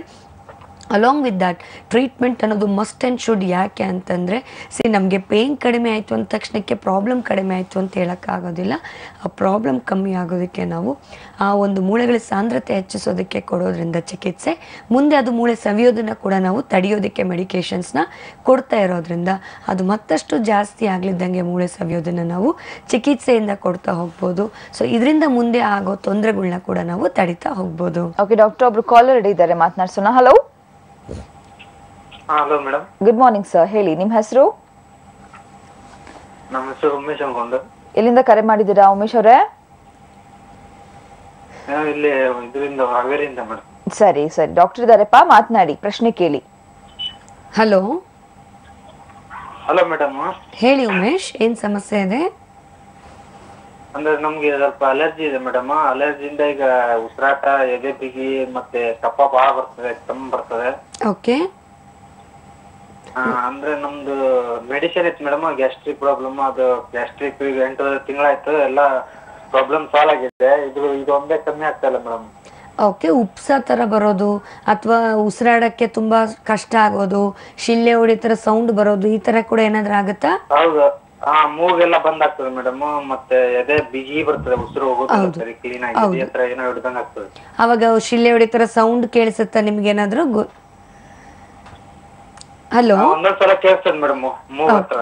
ಓಕೆಪ್ಪ. ಯಾಕಂತಂದ್ರೆ ಇದು ಅಲರ್ಜಿಯಿಂದ ಕೂಡ ಸಿವಿಯರ್ ಅಲರ್ಜಿ ಇದ್ರೆ ಕೂಡ ಈ ತರ ಕೆಲವರಿಗೆ ಸೀನ್ಗಳು ಬರೋದು ಅಥವಾ ಮೂಗ್ ಕಟ್ಕೊಳ್ಳೋದು ಉಸಿರಾಡಕ್ಕೆ ಕಷ್ಟ ಆಗೋದು ಎದೆ ಬಿಗಿ ಆಗೋದು ಎದೆ ಭಾರ ಆಗೋದು ಉಸಿರು ಹಿಡ್ದಂಗೆ ಆಗೋದು ಮೇಲ್ಮೇಲೆ ಉಸಿರು ತೊಗೊಳ್ಬೇಕು ನಾವು. ಫ್ರೀಯಾಗಿ ನಮಗೆ ಉಸಿರಾಡಕ್ಕೆ ಆಗೋದಿಲ್ಲ. ಶಾರ್ಟ್ನೆಸ್ ಆಫ್ ಬ್ರೆತ್ ಅಂತ ಹೇಳ್ತೀವಿ. ಈ ಥರ ಏನಾದರೂ ಪ್ರಾಬ್ಲಮ್ ಆಗ್ತಾ ಇದ್ದರೆ ಖಂಡಿತವಾಗ್ಲೂ ಇದು ಅಲರ್ಜಿ ಹೆಚ್ಚಾಗ್ತಾ ಇರೋದ್ರಿಂದ ನಿಮ್ಮ ದೇಹದಲ್ಲಿ ಈ ಥರ ಒಂದು ಸಮಸ್ಯೆ ಕಾಣಿಸ್ಕೊಳ್ಳುತ್ತೆ. ಇದು ಹೀಗೆ ನಾವು ನೆಗ್ಲೆಕ್ಟ್ ಮಾಡ್ತಾ ಹೋದರೆ ಕೆಲವರಿಗೆ ಉಸಿರಾಡೋಕ್ಕೆ ಕಷ್ಟ ಆಗೋದು, ಶಿಲೆ ಹೊಡಿಯೋ ಥರ ಸೌಂಡ್ ಬರೋದು, ಉಪ್ಸ ಬರೋದು, ದಮ್ಮು ಬರೋದು, ಎಳ್ತಾ ಬರೋದು ನಂತರ ಅದು ಆಸ್ತಮಾ ಕಾಯಿಲೆಗೆ ಕೂಡ ತಿರುಕೊಳ್ಳೋ ಸಾಧ್ಯತೆ ಇರುತ್ತೆ. ಅಲರ್ಜಿನ ನೆಗ್ಲೆಕ್ಟ್ ಮಾಡಿದಲ್ಲಿ ಅದು ನೆಕ್ಸ್ಟ್ ಹಂತದಲ್ಲಿ ಆಸ್ತಮಾ ಕಾಯಿಲೆ ಆಗಿ ಕೂಡ ನಾವು ನೋಡೋ ಸಾಧ್ಯತೆ ಇರುತ್ತೆ. ಹಾಗಾಗಿ ನೀವು ಏನೆಲ್ಲ ಮೆಡಿಸನ್ ಮಾಡ್ತಾ ಇದ್ರು ಕೂಡ ಯಾಕೆ ಕಮ್ಮಿ ಆಗ್ತಾ ಇಲ್ಲ ಅಂದರೆ ತಾತ್ಕಾಲಿಕವಾಗಿ ನಿಮಗೆ ಏನು ಮೆಡಿಕೇಷನ್ಸ್ ಕೊಟ್ಟಾಗ ನೆಗಡಿ ಅಥವಾ ಶೀತ ಅಥವಾ ಮೂಗು ಕಟ್ಕೊಳ್ಳೋದು ದಮ್ ಬರೋದು ಕೆಮ್ಮು ಬರೋದು ಒಂದು ಸ್ವಲ್ಪ ಕಡಿಮೆ ಆಗುತ್ತೆ ಮೇಡಮ್ ಮೆಡಿಕೇಷನ್ಸ್ ತೊಗೊಂಡಾಗ. ಮತ್ತೆ ತಿರ್ಗಾ ನಾವು ಔಷಧಿ ತೊಗೊಳೋದು ಬಿಟ್ಟಾಗ ಮತ್ತೆ ಹಲೋ ಹಲೋ ಹಲೋ ಮೇಡಮ್ ಇದು ಇದಕ್ಕೆ ಮೆಡಿಸಿನ್ ಇನ್ನ ಮಾಡಿಲ್ಲ ಮೇಡಮ್ ಓಕೆ ಸೊ ನೀವು ಇನ್ನೂ ಮೆಡಿಸಿನ್ಸ್ ಮಾಡಿಲ್ಲ ಅಂದ್ರೂ ಕೂಡ ಇಷ್ಟು ಸಮಸ್ಯೆ ನಿಮಗೆ ಆಗ್ತಾ ಇದೆ ಅಂತಂದರೆ ಇನ್ನು ತಡ ಮಾಡೋದ್ರಲ್ಲಿ ಅರ್ಥ ಇರೋದಿಲ್ಲ. ಅಥವಾ ಕೆಲವರು ಆಲ್ರೆಡಿ ಮೆಡಿಸಿನ್ಸ್ ಮಾಡ್ತಾ ಇದ್ರೂ ಕೂಡ ಈಗ ಆಲ್ರೆಡಿ ಈ ಥರ ತೊಂದರೆಗಳು ನಮಗೆ ಕಡಿಮೆ ಆಗ್ತಿಲ್ಲ, ಹಾಗೆ ಜಾಸ್ತಿನೇ ಆಗ್ತಾ ಇದೆ ಅಂದರೆ ಕೂಡ ಖಂಡಿತವಾಗ್ಲೂ ಹೋಮಿಯೋಪತಿಯಲ್ಲಿ ಈ ಒಂದು ಅಲರ್ಜಿ ಪ್ರಾಬ್ಲಮ್ಗೆ ಅಥವಾ ಆಸ್ತಮ ಕಾಯಿಲೆಗೆ ಚಿಕಿತ್ಸೆ ಅನ್ನೋದು ಇರುತ್ತೆ. ನಾವು ಯಾವುದೇ ರೀತಿಯ ತಕ್ಷಣಕ್ಕೆ ಅಲರ್ಜಿ ಮಾತ್ರ ಅನ್ನೋದು ಇರೋದಿಲ್ಲ ಹೋಮಿಯೋಪತಿಯಲ್ಲಿ ನಿಮ್ಮ ಒಂದು ಅಲರ್ಜಿಗೆ ಕಾರಣ ಏನು ಅನ್ನೋದು ತಿಳ್ಕೊಂಡು ನಿಮ್ಮ ರೋಗ ನಿರೋಧಕ ಶಕ್ತಿನ ಹೆಚ್ಚಿಸೋದಕ್ಕೆ ನಾವು ಔಷಧಿಯನ್ನು ಕೊಟ್ಟಾಗ ಪದೇ ಪದೇ ಈ ಅಲರ್ಜಿ, ಸೀನು ಅಥವಾ ಮೂಗು ಕಟ್ಕೊಳ್ಳೋದು ಉಸಿರಾಡಕ್ಕೆ ಕಷ್ಟ ಆಗೋದು, ಆ ಕಾಯಿಲೆ ಕೂಡ ನಿಮ್ಗೆ ಏನೇ ಇದ್ರೂ ಕೂಡ ವಾಸಿ ಆಗ್ತಾ ಹೋಗುತ್ತೆ. Thank you so much sir ಕರೆ ಮಾಡೋದಕ್ಕೆ ಧನ್ಯವಾದ. ಒಂದ್ಸರಿ ಕ್ಲಿನಿಕ್ಗೆ ಭೇಟಿ ನೀಡಿ ಟ್ರೀಟ್ಮೆಂಟ್ ತಗೊಳ್ತಾ ಇಲ್ಲ ಅಂತ ಹೇಳಿದ್ರಿ. ಸಮಸ್ಯೆ ಶುರುವಾಗಿದೆ. ಒಂದ್ಸರಿ ಕ್ಲಿನಿಕ್ಗೆ ಹೋಗಿ ಕರೆಕ್ಟ್ ವೇಯಲ್ಲಿ ಇವಾಗ ಡಾಕ್ಟರ್ ಹೇಳ್ದಂಗೆ ನಿಮ್ಮ ಸಮಸ್ಯೆಗೆ ಪರಿಹಾರವನ್ನು ಹೇಳ್ತಾರೆ. ಇನ್ನೊಬ್ರು ಕಾಲರ್ ಡಿ ಇದ್ದಾರೆ. ಹಲೋ ಹಲೋ ನಮಸ್ಕಾರ. ಮಾತಾಡಿ. ಹಲೋ ಹಲೋ ಆಲ್ ರೈಟ್ ವೀಕ್ಷಕರೇ ಟಿ ವಾಲ್ಯೂಮ್ ಸ್ಕ್ರೀನ್ ಮೇಲೆ ಬರ್ತಾ ಟೆಲಿಫೋನ್ ನಂಬರ್ ಸ್ಕ್ರೀನ್ ಮೇಲೆ ಬರ್ತಾ ಇದೆ. ಕರೆ ಮಾಡಿ ಡಾಕ್ಟರ್ ಹತ್ರ ಪ್ರಶ್ನೆನ ಕೇಳ್ಬೋದು. ಆರ್ಥರೈಟಿಸ್ ಸಮಸ್ಯೆ ಬಗ್ಗೆ ಮಾತನಾಡ್ತಾ ಇದ್ದೀವಿ ನಿಮ್ಮಲ್ಲಿ ಏನೇ ಏನೇ ಸಮಸ್ಯೆ ಇದ್ರು ಕೂಡ ಕರೆ ಮಾಡಿ ಮಾತನಾಡಿ ಅಂತ ಹೇಳ್ತಾ ಕಾಲರ್ ರೆಡಿ ಇದ್ದಾರೆ. ಹಲೋ ಟಿವಿ ವಾಲ್ಯೂಮ್ನ ಮ್ಯೂಟ್ ಮಾಡಿಬಿಟ್ಟು ಮಾತನಾಡಿ. ಖಂಡಿತ ಟಿವಿ ವಾಲ್ಯೂಮ್ ಮ್ಯೂಟ್ ಮಾಡಿಲ್ಲ ಅಂದ್ರೆ ಡಾಕ್ಟರ್ ಹತ್ರ ಮಾತನಾಡೋದಕ್ಕಾಗಲ್ಲ ಅವ್ರಿಗೆ ವಾಲ್ಯೂಮ್ ಕೇಳ್ತಾ ಇದ್ರೆ ಡಿಸ್ಟರ್ಬೆನ್ಸ್ ಇದ್ದಾಗ ಪ್ರಶ್ನೆಗೆ ಆನ್ಸರ್ ಮಾಡೋದಕ್ಕೆ ಕಷ್ಟ ಆಗುತ್ತೆ. ಕಾಲರ್ ರೆಡಿ ಇದ್ದಾರೆ. ಹಲೋ ಹಲೋ ಟಿವಿ ನೋಡ್ತಾನೆ ಇದ್ದೀರಾ ನೀವು? ಟಿವಿ ಒಲಿ ಮ್ಯೂಟ್ ಮಾಡಿಲ್ಲ ಇನ್ನ. Hello hello? ನಮಸ್ತೆ ಸರ್ ನಿಮ್ ಹೆಸರು? ನಮಸ್ತೆ ಸಂತೋಷ್ ಅಂತ. ನಾವು ಹಾವೇರಿನ ಕಾಲ್ ಮಾಡ್ತಾ ಇರೋದು. ಓಕೆ ಸರ್ ಟಿವಿ ಅಲ್ಲಿ ಮ್ಯೂಟ್ ಮಾಡ್ಬಿಟ್ಟು ಮಾತಾಡಿ. ಡಾಕ್ಟರ್ ಆಶಾ ಅವರು ಮಾತಾಡ್ತಾರೆ ಇವಾಗ. ಸರಿ ಮಾತಾಡಿ ಡಾಕ್ಟರ್ ಹತ್ರ. ಹೇಳಿ ಏನ್ ಸಮಸ್ಯೆ ಇದೆ ನಿಮಗೆ ಸಂತೋಷ್ ಅವರೇ? ಮೇಡಮ್ ನಮ್ದು ನೈನ್ಟೀನ್ ಇಯರ್ಸ್ ಏಜ್ ಇವಾಗ. ಓಕೆ ನಾವು ಮೊದಲಿನ ಡೈಲಿ ಬೆಳಗ್ಗೆ ಸಾಯಂಕಾಲ ರನ್ನಿಂಗ್ ಮಾಡ್ತಿದ್ದೆ ಆಮೇಲೆ ಕ್ರಿಕೆಟ್ ಎಲ್ಲ ಹೋಗ್ತಿದ್ದೆ. ಓಕೆ ಡೈಲಿ ರನ್ನಿಂಗ್ ಮಾಡ್ತೀನಿ ಬಟ್ ಯಾವಾಗೂ ಆ ತರ ಮಂಡಿ ನೋವು ಮತ್ತೆ ಈ ಮೊಣಕೈ ನೋವು ಆ ಏನ್ ಬರ್ತಿರ್ಲಿಲ್ಲ. ಬಟ್ ಇವಾಗ ಒಂದ್ ವೀಕಿನ ಯಾಕೋ ಸಿಕ್ಕಾಪಟ್ಟೆ ಪೇನ್ ಆಗ್ತಿದೆ ಅದ್ ಏನಂತ ಗೊತ್ತಾಗ್ತಿಲ್ಲ ಅದಕ್ಕೆ ಫೋನ್ ಮಾಡಿದೆ ಓಕೆ ಸಡನ್ ಆಗಿ ಶುರು ಆಯ್ತಾ ಇದು ಪೇನ್ಸ್ ಜ್ವರ ಆಗ್ಲಿ ಅಥವಾ ಏನಾದ್ರೂ ಬಿದ್ದಿರೋದಾಗ್ಲಿ ಏನಾದ್ರೂ ಇತ್ತಾ? ಜ್ವರ ಅಂದ್ರೆ ಏನಿಲ್ಲ ಮೇಡಮ್ ಅದೇ ಮಂಡಿ ಜಾಸ್ತಿ ಓಡ್ತಿದ್ದಿಲ್ಲ ನಾನು, ಅವಾಗ ಏನು ಅನ್ಸ್ತಿಲ್ಲ ಡೈಲಿ ಓಡ್ತಿದ್ದೆ ಬಟ್ ಈ ಒನ್ ವೀಕ್ ಇಂದ ಸಿಕ್ಕಾಪಟ್ಟೆ ಮಂಡಿ ನೋವು ಮತ್ತೆ ಈ ಕ್ರಿಕೆಟ್ ಆಡ್ತಾರೆ ಬಾಲಿಂಗ್ ಅವ್ರಿಗೆಲ್ಲ ಈ ಮೊಣಕೈ ಸಿಕ್ಕಾಪಟ್ಟೆ ಜಾಸ್ತಿ ಆಗ್ತಿರ್ತ ನನಗೆ ಒಂದ್ಸಲ ಅನಿಸ್ತು ಓಕೆ ಸಿ ಈಗ ನಾವು ಏನು ಹೇಳ್ತೀವಿ ಅಂದ್ರೆ ಯೂಶಲಿ ಎಕ್ಸರ್ಷನ್ ಇಂದ ಕೂಡ ಕೆಲವರಿಗೆ ಏನಾದರೂ ಆ ಥರ ಆಗ್ಬೋದು. ಈಗ ತುಂಬಾ ನೀವು ಹೇಳಿದ್ರೆ ಓಡ್ತಾ ಇದ್ವಿ ಬಟ್ ಅವಾಗ ಏನೂ ಆಗ್ತಾ ಇರಲಿಲ್ಲ ಅಂದ್ರೆ ಮೇ ಬಿ ಅವಾಗ ನಿಮಗೆ ಅಷ್ಟು ತೊಂದರೆ ಏನು ಕಾಣಿಸ್ಕೊಂಡಿರೋದಿಲ್ಲ. ಈಗ ನಿಮಗೆ ಒನ್ ವೀಕಿಂದ ನಿಮಗೆ ಮಂಡಿ ನೋವು ಆಗ್ತಾ ಇದೆ ಅಥವಾ ತುಂಬಾ ಕ್ರಿಕೆಟ್ ಅಥವಾ ವಾಕ್ ಮಾಡ್ತೀರಾ ಅಥವಾ ಓಡ್ತೀರಾ ಅಂತ ಏನು ಹೇಳ್ತಿದ್ರೆ ಇದರಿಂದ ಕೂಡ ಎಕ್ಸರ್ಷನ್ ಆಗ್ತಾ ಇರ್ಬೋದು ನಿಮ್ಮ ಜಾಯಿಂಟ್ಸ್ಗೆ ಮತ್ತು ನಿಮ್ಮ ಲಿಗಮೆಂಟ್ಸ್ ಅಂತ ಏನು ಹೇಳ್ತೀವಿ. ಸೊ ಇದಕ್ಕೆ ಎಕ್ಸರ್ಷನ್ ಇಂದ ಕೂಡ ಸ್ಟ್ರೈನ್ ಆಗೋದ್ರಿಂದ ಕೂಡ ಈ ಥರ ಪೇನ್ಸ್ ಬರ್ಬೋದು. ಒಂಥರ ಸ್ವಲ್ಪ ರೆಸ್ಟ್ ಮಾಡೋದು ಉತ್ತಮ ನೀವು. ಯಾಕಂದರೆ ತುಂಬ ಸ್ಟ್ರೈನ್ ಆಗಿ ಎಕ್ಸರ್ಷನ್ ಆದರೆ ಕೂಡ ಈ ಥರ ಆಗೋದ್ರಿಂದ ಸ್ವಲ್ಪ ದಿವಸ ರೆಸ್ಟ್ ಮಾಡೋದು ಉತ್ತಮ. ಜೊತೆಗೆ ನಿಮ್ಮ ಬಾಡಿಯಲ್ಲಿ ಎಷ್ಟು ಮಟ್ಟಿಗೆ ಪೌಷ್ಟಿಕಾಂಶ ನೀವು ತೊಗೊಳ್ತಾ ಇದ್ದೀರ ಆಹಾರ ಅದನ್ನು ಕೂಡ ನೋಡಬೇಕು. ಯಾಕಂದರೆ ನಾವು ಎಷ್ಟೋ ಒಂದು ಆ್ಯಕ್ಟಿವಿಟೀಸ್ ಮಾಡ್ತಾ ಇರ್ತೀವಿ ಬಟ್ ನಮಗೆ ಇಂಟೇಕ್ ಪೌಷ್ಟಿಕ ಆಹಾರ ಸರಿಯಾಗಿ ಸಿಗ್ತಾ ಇಲ್ಲ ಅಂದರೆ ಕೂಡ ಮೂಳೆಗಳ ಸ್ಟ್ರೆಂತ್ ಕಳ್ಕೊಳ್ಳೋ ಸಾಧ್ಯತೆ ಇರುತ್ತೆ. ಇದರಿಂದ ನೀವು ಮಾಡ್ತಾ ಇರೋಂಥ ಕೆಲಸದಲ್ಲಿ ಸ್ಟ್ರೈನ್ ಜಾಸ್ತಿ ಆಗ್ತಿರುತ್ತೆ ಪೇಯ್ನ್ಸ್ ಬರ್ತಾ ಇರುತ್ತೆ ಕೆಲವರಿಗೆ. ಸೊ ಇಂಟೇಕ್ ಕೂಡ ಅಷ್ಟೇ ಮಟ್ಟಿಗೆ ನೀವು ಮಾಡಬೇಕಾಗತ್ತೆ. ಸೊ ಕ್ಯಾಲ್ಶಿಯಂ ಅಂಶ ಹೆಚ್ಚಿರೋ ಆಹಾರ ಪದ್ಧತಿ ತೊಗೊಳ್ಬೇಕಾಗತ್ತೆ. ಡೈಲಿ ಹಾಲು ಚೆನ್ನಾಗಿ ಕುಡಿಬೇಕು, ಮೊಟ್ಟೆ ತಿನ್ನಬೇಕು ಅಂತ ನಾವು ಹೇಳ್ತೀವಿ. ಎಗ್ ತುಂಬಾ ಒಳ್ಳೆಯದು ಎವ್ರಿ ಡೇ ತೊಗೊಳೋದ್ರಿಂದ ಕೂಡ ನಿಮಗೆ ಉತ್ತಮ ಅಂತ ಹೇಳ್ತೀವಿ. ಈ ಥರ ಮಾಡೋದ್ರಿಂದ ಮತ್ತು ಪೌಷ್ಟಿಕ ಆಹಾರಗಳು ಡ್ರೈ ಫ್ರೂಟ್ಸ್ ಆಗಲಿ ಈ ಥರ ತೊಗೊಳೋದ್ರಿಂದ ಕೂಡ ನಿಮಗೆ ಒಂದು ಬಾಡಿಯಲ್ಲಿ ಕ್ಯಾಲ್ಶಿಯಂ ಅಂಶ ಕೂಡ ಇಂಪ್ರೂವ್ ಆಗೋದಕ್ಕೆ ಹೆಲ್ಪ್ ಆಗುತ್ತೆ. ಸೊ ಈ ಥರ ನೀವು ಮಾಡ್ಕೊಳ್ತಾ ಬನ್ನಿ. ಆಗ ನಿಮಗೆ ಆಟೋಮೆಟಿಕ್ ಏನಾಗುತ್ತೆ? ಬೋನ್ಸ್ಗೆ ಸ್ಟ್ರೆಂತ್ ಅನ್ನೋದು ಸಿಗುತ್ತೆ. ಒಂದು ಸ್ವಲ್ಪ ದಿವಸ ರೆಸ್ಟ್ ಕೊಡೋದು ಉತ್ತಮ. ತುಂಬ ಎಕ್ಸರ್ಷನ್ ಸ್ಟ್ರೈನ್ ಆಗಿ ಕೂಡ ಅಲ್ಲಿ ಜಾಯಿಂಟಲ್ಲಿ ವೇರೆಂಟೇರ್ ಕಾರ್ಟಿಲೇಜಲ್ಲಿ ಕೂಡ ಏನಾದರೂ ಆಗಿರೋ ಸಾಧ್ಯತೆ ಇರುತ್ತೆ. ಸ್ವಲ್ಪ ರೆಸ್ಟ್ ಮಾಡ್ಕೊಂಡು ನಾನು ಹೇಳಿರೋ ಥರ ಸ್ವಲ್ಪ ಆಹಾರ ಪದ್ಧತಿ, ಪೌಷ್ಟಿಕಾಂಶ ಹೆಚ್ಚಾಗಿ ತೊಗೊಳ್ತಾ ಬನ್ನಿ. ಸೊ ಅಲ್ಲಿ ಕೂಡ ನಿಮಗೆ ಪ್ರಾಬ್ಲಮ್ ಕಡಿಮೆ ಆಗ್ತಿಲ್ಲ ಅಂದ್ರೆ ಒಮ್ಮೆ ಬಂದು ಭೇಟಿಯಾಗಿ ಅದ್ರ ತಕ್ಕಾಗೆ ಯಾವ ರೀತಿ ತೊಂದರೆ ಇದೆ ಅನ್ನೋದು ತಿಳಿಸ್ಕೊಡ್ಬೋದು. ಎಕ್ಸಾಮಿನೇಷನ್ ಮಾಡಿ ನಿಮಗೆ ಔಷಧಿಯನ್ನು ಕೊಡ್ಬೋದು. Thank you so much sir ಕರೆ ಮಾಡೋದಕ್ಕೆ ಧನ್ಯವಾದ. ಇನ್ನೊಂದು ಕರೆ ಸಿದ್ಧವಾಗಿದೆ. Hello all right call disconnect ಆಗಿದೆ. ಎನಿವೇಸ್ ವೀಕ್ಷಕರಿಗೆ ಗೊತ್ತಾದ ಸಮಸ್ಯೆ ಇವತ್ತು ಅರ್ಥರೈಟಿಸ್ ಸಮಸ್ಯೆ ಬಗ್ಗೆ ಮಾತನಾಡ್ತಿದ್ವಿ. ಕರೆ ಮಾಡಿ ಅಂತ ಹೇಳ್ತಾ, ಇವಾಗ ಡಾಕ್ಟರ್ ಹತ್ರ ಟೈಪ್ಸ್ ಆಫ್ ಅರ್ಥರೈಟಿಸ್ ಬಗ್ಗೆ ಕೇಳೋಣ. ಡಾಕ್ಟರ್ ಅರ್ಥರೈಟಿಸ್ ಅಲ್ಲಿ ತುಂಬಾ ಟೈಪ್ಸ್ ಇದೆ ಅನ್ನೋದನ್ನ ಕೇಳಿದ್ದೀವಿ. ನಿಮ್ಮ ಕ್ಲಿನಿಕ್ಗೆ ಸಾಕಷ್ಟು ಜನ ಪೇಷಂಟ್ಸ್ಗಳು ಬರ್ತಾ ಇರ್ತಾರೆ. ಸೊ ತುಂಬಾನೇ ಜಾಸ್ತಿಯಾಗಿ ಕಾಣಿಸ್ಕೊಳ್ಳುವಂತ ಸಿಮ್ ಟೈಪ್ಸ್ ಬಗ್ಗೆ ಹೇಳೋದಂದ್ರೆ ಯಾವುದು? ಸಿ ಯೂಶಲಿ ನಾವು ಕಾಮನ್ ಆಗಿ ನೋಡುವಂಥದ್ದಾದರೆ ಆಸ್ಟಿಯೋಆರ್ಥ್ರೈಟಿಸ್ ಅಂತ ಹೇಳ್ತೀವಿ ಆ್ಯಂಡ್ ಈವನ್ ರುಮಿಟೆಡ್ ಆರ್ಥ್ರೈಟಿಸ್ ಅಂತ ಹೇಳ್ತೀವಿ ಗೌಟ್ ಅಂತ ಹೇಳ್ತೀವಿ. ಗೌಟಿ ಆರ್ಥ್ರೈಟಿಸ್ ಇರುವಂಥ ಸಾಧ್ಯತೆ ಕೂಡ ಇರುತ್ತೆ ಕೆಲವರಿಗೆ. ಕೆಲವರಿಗೆ ಪೋಸ್ಟ್ ವೈರಲ್ ಆರ್ಥ್ರಾಲಜಿ ಅಥವಾ ವೈರಲ್ ಆರ್ಥ್ರೈಟಿಸ್ ಅಂತ ಹೇಳ್ತೀವಿ. ಸೋರಿಯಾಟಿಕ್ ಆರ್ಥ್ರೈಟಿಸ್ ಅಂತ ಹೇಳ್ತೀವಿ. ಸೀರೋ ನೆಗೆಟಿವ್ ಆರ್ಥ್ರೈಟಿಸ್ ಅಂತ ಹೇಳ್ತೀವಿ. ಸೊ ಈ ಥರ ಡಿಫ್ರೆಂಟ್ ಟೈಪ್ಸಲ್ಲಿ ನಾವು ಹೆಚ್ಚಾಗಿ ನೋಡೋಂಥ ನಮ್ಮ ಕ್ಲಿನಿಕ್ಸಲ್ಲಾದರೆ ಈ ಟೈಪ್ಸ್ ಆಫ್ ಆರ್ಥ್ರೈಟಿಸ್ ಇರುತ್ತೆ. ಕೀಲುವಾಯು, ಸಂಧಿವಾತ, ಇವೆಲ್ಲ ಟೈಪ್ಸ್ನ ಕೂಡ ನಾವು ಸಾಮಾನ್ಯವಾಗಿ ನಮ್ಮ ಕ್ಲಿನಿಕ್ಸಲ್ಲಿ ಹೆಚ್ಚಾಗಿ ಪೇಷಂಟ್ಸ್ನ ಕಾಣ್ತಾ ಇರ್ತೀವಿ. ಸೊ ಈಗ ಆಲ್ರೆಡಿ ನಾನು ಹೇಳಿದೆ ಒಬೆಸಿಟಿ ಕೂಡ ಒನ್ ಆಫ್ ದಿ ರೀಸನ್ ಅಂತ ಹೇಳಿದೆ. ಹಾಗೆ ಹಾರ್ಮೋನಲ್ ಪ್ರಾಬ್ಲಮ್ಸ್ ಅಂತ ಒನ್ ಆಫ್ ದಿ ರೀಸನ್ ಅಂತ ಹೇಳಿದೆ. ಎಸ್ಪೆಷಲಿ ಫೀಮೇಲ್ಸಲ್ಲಿ ಹೆಚ್ಚಾಗಿ ಹಾರ್ಮೋನ್ ಇಂಬ್ಯಾಲೆನ್ಸ್ ಅನ್ನೋದನ್ನು ನಾವು ಕಾಣ್ತಾ ಇರ್ತೀವಿ. ಥೈರಾಯ್ಡ್ ಪ್ರಾಬ್ಲಮ್ ಇರ್ಬೋದು, ಮುಟ್ಟಿನ ನಿಲ್ಲೋ ಒಂದು ಟೈಮಲ್ಲಿ ಆಗಿರ್ಬೋದು ಮೆನಪಾಸ್ ಏಜ್ ಗ್ರೂಪ್ ಅಂತ ಹೇಳ್ತೀವಿ. ಇಂಥವರಲ್ಲಿ ಕೂಡ ಹೆಚ್ಚಾಗಿ ಒಂದು ಈ ಮೂಳೆ ಸವಿಯೋದನ್ನು ನಾವು ಕಾಣ್ತೇವೆ. ಓಕೆ ಡಾಕ್ಟರ್ ಇನ್ನಷ್ಟು ಮಾತನಾಡೋಬ್ರು ಕಾಲ್ ಅಡಿ ಇದ್ದಾರೆ. ಹಲೋ ಹಲೋ ಹಲೋ ನಮಸ್ಕಾರ. ನಮಸ್ತೆ ಮಾ ನಿಮ್ ಹೆಸರು? ನಮಸ್ಕಾರ ಕೇಳಿಸ್ತಿದ್ಯಾ? ಮೇಡಮ್. ಹೇಳಿ ನಿಮ್ ಹೆಸರೇನು ನನ್ನ ಹೆಸರು ಲೋಲಾಕ್ಷಿ ಅಂತ.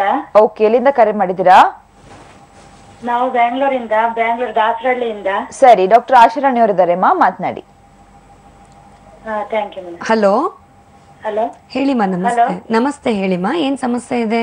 ನಮಸ್ತೆ ಡಾಕ್ಟರ್. ನನಗೆ ಕೈ ಇದೆ ಇದು ಕುತ್ತಿಗೆಯಿಂದ. ಓಕೆ ಭುಜ ಫುಲ್ ನೋವು ಮೇಡಮ್ ಓಕೆ ಕತ್ತಿನ ಸೈಡ್ ಭಾಗ ನರ ಎಲ್ಲ ಎಳೆಯುತ್ತಾ? ನರ ಎಳೆಯುತ್ತೆ ಮತ್ತೆ ಹ್ಯಾಂಡ್ ಮೇಲೆ ಎತ್ತಕ್ಕಾಗಲ್ಲ ಎತ್ತಿದ್ರೆ ಕೆಳಗಡೆ ಇಳಿಸುವಾಗ ತುಂಬಾ ಪೇನ್ ಬರುತ್ತೆ. ಮೊಣಕಾಯಿಂದ ಕುತ್ತಿಗೆವರೆಗೆ. ಓಕೆ ಭುಜ ಕೂಡ ನೋವು ಬರ್ತಾ ಇದೆಯಮ್ಮ? ಅಥವಾ ಮಣಕೈ ಮಣಕೈ ಕೂಡ ನೋವು? ಭುಜ ತುಂಬಾ ಭುಜ ತುಂಬಾ ನೋವು ಮೊಣಕಾಯಿ ನಮ್ ಇಲ್ಲ ಮೊಣಕಾಯಿಂದ ಮೇಲ್ಗಡೆಗೆ. ಓಕೆ ಕುತ್ತಿಗೆಯಿಂದ ತುಂಬಾ ನೋವು ಅಂದ್ರೆ ಬೆಳಗ್ಗೆ ಎದ್ರೆ ಏನೋ ಕೈ ಆಡ್ಸಕ್ಕಾಗಲ್ಲ. ಕತ್ತು ಆಡ್ಸಕ್ಕೆ ಕೂಡ ಕಷ್ಟ ಆಗುತ್ತಮ್ಮ? ಫ್ರೀಯಾಗಿ ಮೂವ್ ಮಾಡಕ್ಕೂ ಕಷ್ಟ ಆಗುತ್ತೆ ಬೆಳಗಿನ ಜಾವದಲ್ಲಿ?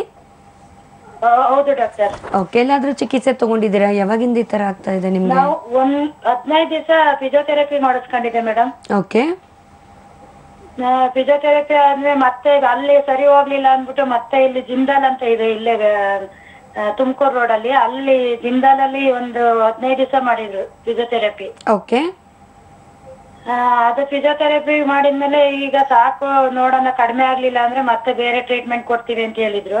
ಓಕೆ. ಮತ್ತೆ ಮತ್ತೆ ಮೇಡಮ್ ಮೂಳೆಗೆ ಇಂಜೆಕ್ಷನ್ ಕೊಡ್ಬೇಕು ಅಂದ್ಬಿಟ್ಟು ಇಲ್ಲಿ ರಾಮಚಂದ್ರ ಹಾಸ್ಪಿಟಲ್ ಅಂತ ಇದೆ. ಅಲ್ಲಿ ಒಬ್ರು ಮೂಳೆ ಡಾಕ್ಟ್ರೇನೆ ಮೂಳೆಗೆ ಇಂಜೆಕ್ಷನ್ ಕೊಡ್ಬೇಕಾಗತ್ತಮ್ಮ ಅಂತ ಹೇಳಿದ್ರು. ನಾವು ಸ್ವಲ್ಪ ದಿವಸ ಏನಾರ ಮೂಳೆ ತಗೊಂಡ್ರೆ ಏನಾರ ಪ್ರಾಬ್ಲಮ್ ಅಂದ್ಬಿಟ್ಟು ತಗೊಂಡಿರ್ಲಿಲ್ಲ. ಓಕೆಮ್ಮ. ನಿಮ್ ವಯಸ್ಸು ಎಷ್ಟಿದೆ? ಆಮೇಲೆ ಮೆ- ಇದು ಏಳು ಸೆವೆನ್ ಡೇಸಿಗೆ ಟ್ಯಾಬ್ಲೆಟ್ ಕೊಟ್ಟಿದ್ರು. ಓಕೆ. ಆ ಟ್ಯಾಬ್ಲೆಟ್ ಕಡಿಮೆ ಸರಿ ಹೋಗ್ಲಿಲ್ಲ ಕಡಿಮೆ ಆಗ್ಲಿಲ್ಲ ಅಂದ್ಬಿಟ್ಟು ಟ್ಯಾಬ್ಲೆಟ್ ಅಲ್ಲಿ ಮತ್ತೆ ಮೂಳೆಗೆ ಇಂಜೆಕ್ಷನ್ ಕೊಟ್ರು ಮೇಡಮ್ ಕೊಟ್ಟಿದಾರಮ್ಮ ಆಲ್ರೆಡಿ ಇಂಜೆಕ್ಷನ್ ಇಂಜೆಕ್ಷನ್ ಕೊಟ್ಟಿದ್ರು. ಅದು ಒಂದು ಎರಡ್ ತಿಂಗಳು ಒಂದ್ ಸ್ವಲ್ಪನೂ ಪೇನ್ ಇರ್ಲಿಲ್ಲ. ಇಂಜೆಕ್ಷನ್ ಕೊಟ್ಟ ತಕ್ಷಣನೇ ಕಡಿಮೆ ಆಯ್ತು. ಓಕೆ. ಆ, ಇವಾಗ ತುಂಬಾ ಮತ್ತೆ ಈಗ ಒಂದು ಹದಿನೈದು ದಿವಸದಿಂದ ತುಂಬಾ ಪೇನ್ ಆಗಿದೆ. ಓಕೆ ಸೊ ಇಂಜೆಕ್ಷನ್ ಕೊಟ್ಟಾಗ ಅದ್ರ ಪವರ್ ಇರೋವರೆಗೂ ನಿಮಗೆ ಅವಾಗ ಸ್ವಲ್ಪ ನೋವು ಏನು ಕಾಣಲಿಲ್ಲ ಎರಡು ತಿಂಗಳವರೆಗೂ? ಇಂಜೆಕ್ಷನ್ ಕೊಟ್ಟಿದ್ದ ದಿವಸನೇ ಅವರು ಕೈ ಈ ತರ ರೊಟೇಟ್ ಮಾಡಿದ್ರು ಎರಡ್ ಕಡೆಗೂ. ಅವಾಗ ತು- ಒಂದ್ ಸ್ವಲ್ಪನೂ ನೋವೇ ಬರ್ಲಿಲ್ಲ. ಓಕೆ ಸೊ ಅದು ಎರಡು ತಿಂಗಳವರೆಗೂ ಸ್ವಲ್ಪ ನವೆಂಬರ್ ನವೆಂಬರ್ ಸಿಕ್ಸ್ ಅಲ್ಲಿ ನಾನು ಕೊಡಿಸ್ಕೊಂಡಿದ್ದು ಇಂಜೆಕ್ಷನ್ ಓಕೆಮ್ಮ ಈಗ ಒಂದ್ ಹದಿನೈದು ದಿವಸದಿಂದ ಜಾಸ್ತಿ ನೋವಾಗಿದೆ. ತಿರ್ಗಾ ಮತ್ತೆ ಸಿವಿಯರ್ ಅದೇ ತರನೇ ಮುಂಚೆ ತರನೇ ಇದೆಯಾ ಅಥವಾ ಇನ್ನೂ ಜಾಸ್ತಿನೇ ಆಗಿದೆಯಾ ಮಾವಾಗಿಂತ ಮುಂಚೆ ತರನೇ ಮುಂಚೆ ತರನೇ ನೋವಿದೆ ಮೇಡಮ್ ಓಕೆಮ್ಮ ಸೊ ಡೆಫಿನೆಟ್ಲಿ ಏನಾಗುತ್ತೆ ಅಂತಂದ್ರೆ ನೀವು ಆಲ್ರೆಡಿ ಎಲ್ಲಾನು ಟ್ರೀಟ್ಮೆಂಟ್ ಮಾಡಿದ್ದೀರಾ ಬಟ್ ಸ್ಟಿಲ್ ನಿಮ್ಮ ಒಂದು ಪೇನ್ ಕಡಿಮೆ ಆಗ್ತಾ ಇಲ್ಲ ಸಿವಿಯರ್ ಆಗ್ತಾ ಇದೆ ಕೈ ಎತ್ತೋದಕ್ಕೂ ಕಷ್ಟ ಆಗ್ತಾ ಇದೆ ಬೆಳಗಿನ ಜಾವ ಏನು ಮಾಡ್ಕೊಳ್ಳೋಕ್ಕೂ ಆಗ್ತಾ ಇಲ್ಲ ಎತ್ತಿದ್ರೆ ಇಳಿಸೋದಕ್ಕೂ ಆಗ್ತಾ ಇಲ್ಲ ಅಷ್ಟು ಸಿವಿಯರ್ ಪೇನ್ ಇದೆ ಅಂತ ಹೇಳ್ತಿದ್ದಾರೆ ವಯಸ್ಸು ಎಷ್ಟಿದೆ? ಹಲೋ ಕಾಲ್ ಡಿಸ್ಕನೆಕ್ಟ್ ಆಗಿದೆ ಡಾಕ್ಟರ್. ಓಕೆ ನಿಮ್ಮ ವಯಸ್ಸು ಎಷ್ಟಿದೆ ಅನ್ನೋದು ಕೂಡ ಮುಖ್ಯವಾಗುತ್ತಮ್ಮ. ಯಾಕಂದರೆ ನೀವು ಏನೇ ಟ್ರೀಟ್ಮೆಂಟ್ ಮಾಡಿದರೂ ಕೂಡ ಖಂಡಿತವಾಗ್ಲೂ ನಿಮಗೆ ನೋವು ಕಮ್ಮಿ ಆಗಲಿ ಅನ್ನೋದು ನೀವು ಮಾಡ್ಕೊಂಡಿದ್ದೀರಾ. ಬಟ್ ಮೇನ್ ನಾವು ಏನಕ್ಕೆ ಬರ್ತಿದೆ ಅನ್ನೋದು ಅರ್ಥ ಮಾಡ್ಕೊಳ್ಳಿ. ಸೊ ಡಿಸ್ಕ್ ಪ್ರಾಬ್ಲಮ್ ಏನಾದರೂ ಆಗಿರೋ ಸಾಧ್ಯತೆ ಇರುತ್ತೆ ನಿಮಗೆ. ಅದರಿಂದ ಅದು ನರಗಳ ಮೇಲೆ ಒತ್ತಡ ಬೀಳ್ತಾ ಇರೋದ್ರಿಂದ ಆ ನರಗಳು ಎಲ್ಲೆಲ್ಲಿ ಹರಡ್ತಾ ಹೋಗುತ್ತೆ, ಅಲ್ಲೆಲ್ಲ ಪೇನ್ ಬರ್ತಾ ಇರುತ್ತೆ. ಯೂಶಲಿ ಆ ಪೇನ್ ನಿಮಗೆ ಕತ್ತಿನ ಡಿಸ್ಕ್ ಎಫೆಕ್ಟ್ ಆಗಿ ಮೇ ಬಿ ನರಕ್ಕೆ ಒತ್ತಡ ಬಿದ್ದಿರೋದ್ರಿಂದ ಆ ಕತ್ತಿನ ಸೈಡ್ ಭಾಗ ಅಥವಾ ಕೈಗೆ ಅಥವಾ ಕೈ ಕೆಳಗಡೆ ಇರ್ಬೋದು, ಭುಜದ ಕೆಳಗಡೆ ಇರ್ಬೋದು, ಅಲ್ಲಿವರೆಗೂ ನಿಮಗೆ ನರ ಎಳ್ತಾ ಬರ್ತಾ ಇದೆ. ತುಂಬಾನೇ ಮೂವ್ಮೆಂಟ್ ಮಾಡೋಕ್ಕಾಗ್ತಾ ಇಲ್ಲ ಅಂದರೆ ಡೆಫಿನೆಟ್ಲಿ ಇದು ಡಿಸ್ಕ್ ಮತ್ತು ನರಗಳಿಗೆ ಒತ್ತಡ ಬಿದ್ದಿರುವಂಥದ್ದು ಸೊ ಇದಕ್ಕೆ ನೀವು ಆಲ್ರೆಡಿ ಇಂಜೆಕ್ಷನ್ಸು ಟ್ಯಾಬ್ಲೆಟ್ಸ್ಗಳು ಫಿಸಿಯೋಥೆರಪಿ ಎಲ್ಲ ಮಾಡಿದಿರ ಒಳ್ಳೆಯದು ಬಟ್ ಅದ್ರ ಪವರ್ ಇರೋವರೆಗೂ ಕಮ್ಮಿ ಆಗಿ ಮತ್ತೆ ತಿರ್ಗಾ ಜಾಸ್ತಿ ಆಗಿದೆ ಅಂದರೆ ಖಂಡಿತವಾಗ್ಲೂ ನೀವು ಆಲ್ರೆಡಿ ಏನಾದರೂ ಟೆಸ್ಟ್ ಮಾಡಿಸಿದ್ರೆ ಬಂದು ಭೇಟಿ ಆಗ್ಬೋದು, ಮಾ. ಮೂಳೆಗಳಿಗೆ ಮತ್ತು ಡಿಸ್ಕ್ಗೆ ಮತ್ತು ನರಗಳಿಗೆ ಕೂಡ ನಮ್ಮಲ್ಲಿ ಔಷಧಿ ಇರುತ್ತೆ. ಎಷ್ಟೋ ಪೇಷಂಟ್ಸ್ಗೆ ಆಪರೇಷನ್ ಇಲ್ಲದಂಗೆ ನಮ್ಮಲ್ಲಿ ಔಷಧಿಯಲ್ಲಿನೇ ವಾಸಿ ಆಗಿದೆ. ನೀವು ಕೂಡ ತಡ ಮಾಡ್ಕೊಳ್ಬೇಡಿ. ಯಾಕಂದರೆ ಇನ್ನೂ ನಿಮಗೆ ಏನು ಕೆಲಸ ಮಾಡ್ಕೊಳ್ಳೋದಕ್ಕೂ ಕಷ್ಟ ಆಗ್ತಿದೆ. ದಿನನಿತ್ಯ ನಿಮ್ಮ ಆ್ಯಕ್ಟಿವಿಟೀಸ್ ಮಾಡ್ಕೊಳ್ಳೋದಕ್ಕೂ ಕಷ್ಟ ಆಗ್ತಿದೆ ಅಂದರೆ ಖಂಡಿತವಾಗ್ಲೂ ಬಂದು ಭೇಟಿಯಾಗಿ ಭಯ ಪಡೋ ಅವಶ್ಯಕತೆ ಇಲ್ಲ. ಆದಷ್ಟು ನಾವು ಎಕ್ಸಾಮಿನೇಷನ್ ಮಾಡಿ ಅದಕ್ಕೆ ಚಿಕಿತ್ಸೆಯನ್ನು ಹೋಮಿಯೋಪತಿ ಮೆಡಿಕೇಶನ್ಸ್ನ ನಮ್ಮ ಹೋಮಿಯೋಪತಿಯಲ್ಲಿ ನಾವು ಕೊಡೋದ್ರಿಂದ ಸೈಡ್ ಎಫೆಕ್ಟ್ಸ್ ಇಲ್ಲದಂಗೆ ನಿಮ್ಮ ಒಂದು ನರಗಳಿಗೆ ಸ್ಟ್ರೆಂತ್ ಬರೋದಕ್ಕೆ ಮತ್ತು ಮೂಳೆಗಳಿಗೆ ಡಿಸ್ಕಿಗೆ ಸ್ಟ್ರೆಂತ್ ಬರೋದಕ್ಕೆ ನಮ್ಮಲ್ಲಿ ಚಿಕಿತ್ಸೆ ಇರುತ್ತೆ ಮಾ. ಥ್ಯಾಂಕ್ ಯು ಸೋ ಮಚ್ ಮಾ. ಕರೆ ಮಾಡೋದಕ್ಕೆ ಧನ್ಯವಾದ. ಇನ್ನೊಬ್ರು ಕಾಲರ್ ರೆಡಿ ಇದ್ದಾರೆ. ಹಲೋ ಹಲೋ ನಮಸ್ಕಾರ. ನಿಮ್ ಹೆಸರು? ಹಲೋ ಕೇಳಿಸ್ತಾ ಇದೆಯಾ? ನಮಸ್ತೆ ನಿಮ್ಮ ಹೆಸರು? ನಮ್ಮ ಹೆಸರು ಅನಿತಾ ಅಂತ. ಎಲ್ಲಿಂದ ಕರೆ ಮಾಡಿದಿರಾ ಕಿತ್ತನೆಯಿಂದ. ಓಕೆ ಡಾಕ್ಟರ್ ಆಶಾ ಅವರಿದ್ದಾರೆ. ಮಾತಾಡಿ. ಹಲೋ? ಹಲೋ? ಹೇಳಿಮ್ಮ ಹಲೋ? ಹಾ ಹೇಳಿ ಮೇಡಮ್. ಹಲೋ? ಹೇಳಿಮ್ಮ ಏನ್ ಸಮಸ್ಯೆ ಇದೆ ನಿಮ್ಗೆ?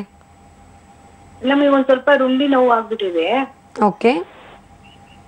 ಸಿಕ್ಕಾಪಟ್ಟೆ ನೋವು ನಡಿಯಕ್ಕಾಗಲ್ಲ. ಈಗ ಅಜ್ಜೆ ಇಟ್ಟಿದ್ರೆ ಸಿ- ಸಿಕ್ಕಾಪಟ್ಟೆ ನೋವು ಇರುತ್ತೆ. ಓಕೆ. ಹಂಗಾಗಿ ನಿಮ್ಮಿಂದ ಏನಾರ ಇದೆಯಾ ಅಂತ ಕೇಳೋಣ ಅಂತ ಯಾವಾಗಿಂದ ಆಗ್ತಾ ಇದೆಮ್ಮ ಈ ಥರ ಒಂದ್ ತಿಂಗ್ಳಾಯ್ತು. ಓಕೆ ಎಲ್ಲಾದ್ರೂ ತೋರಿಸ್ಕೊಂಡಿದ್ದೀರಾ? ಒಂದ್ಸರಿ ತೋರ್ಸಿದ್ದೆ. ಓಕೆ ಏನ್ ಪ್ರಾಬ್ಲಮ್ ಅಂತ ಹೇಳಿದ್ರು?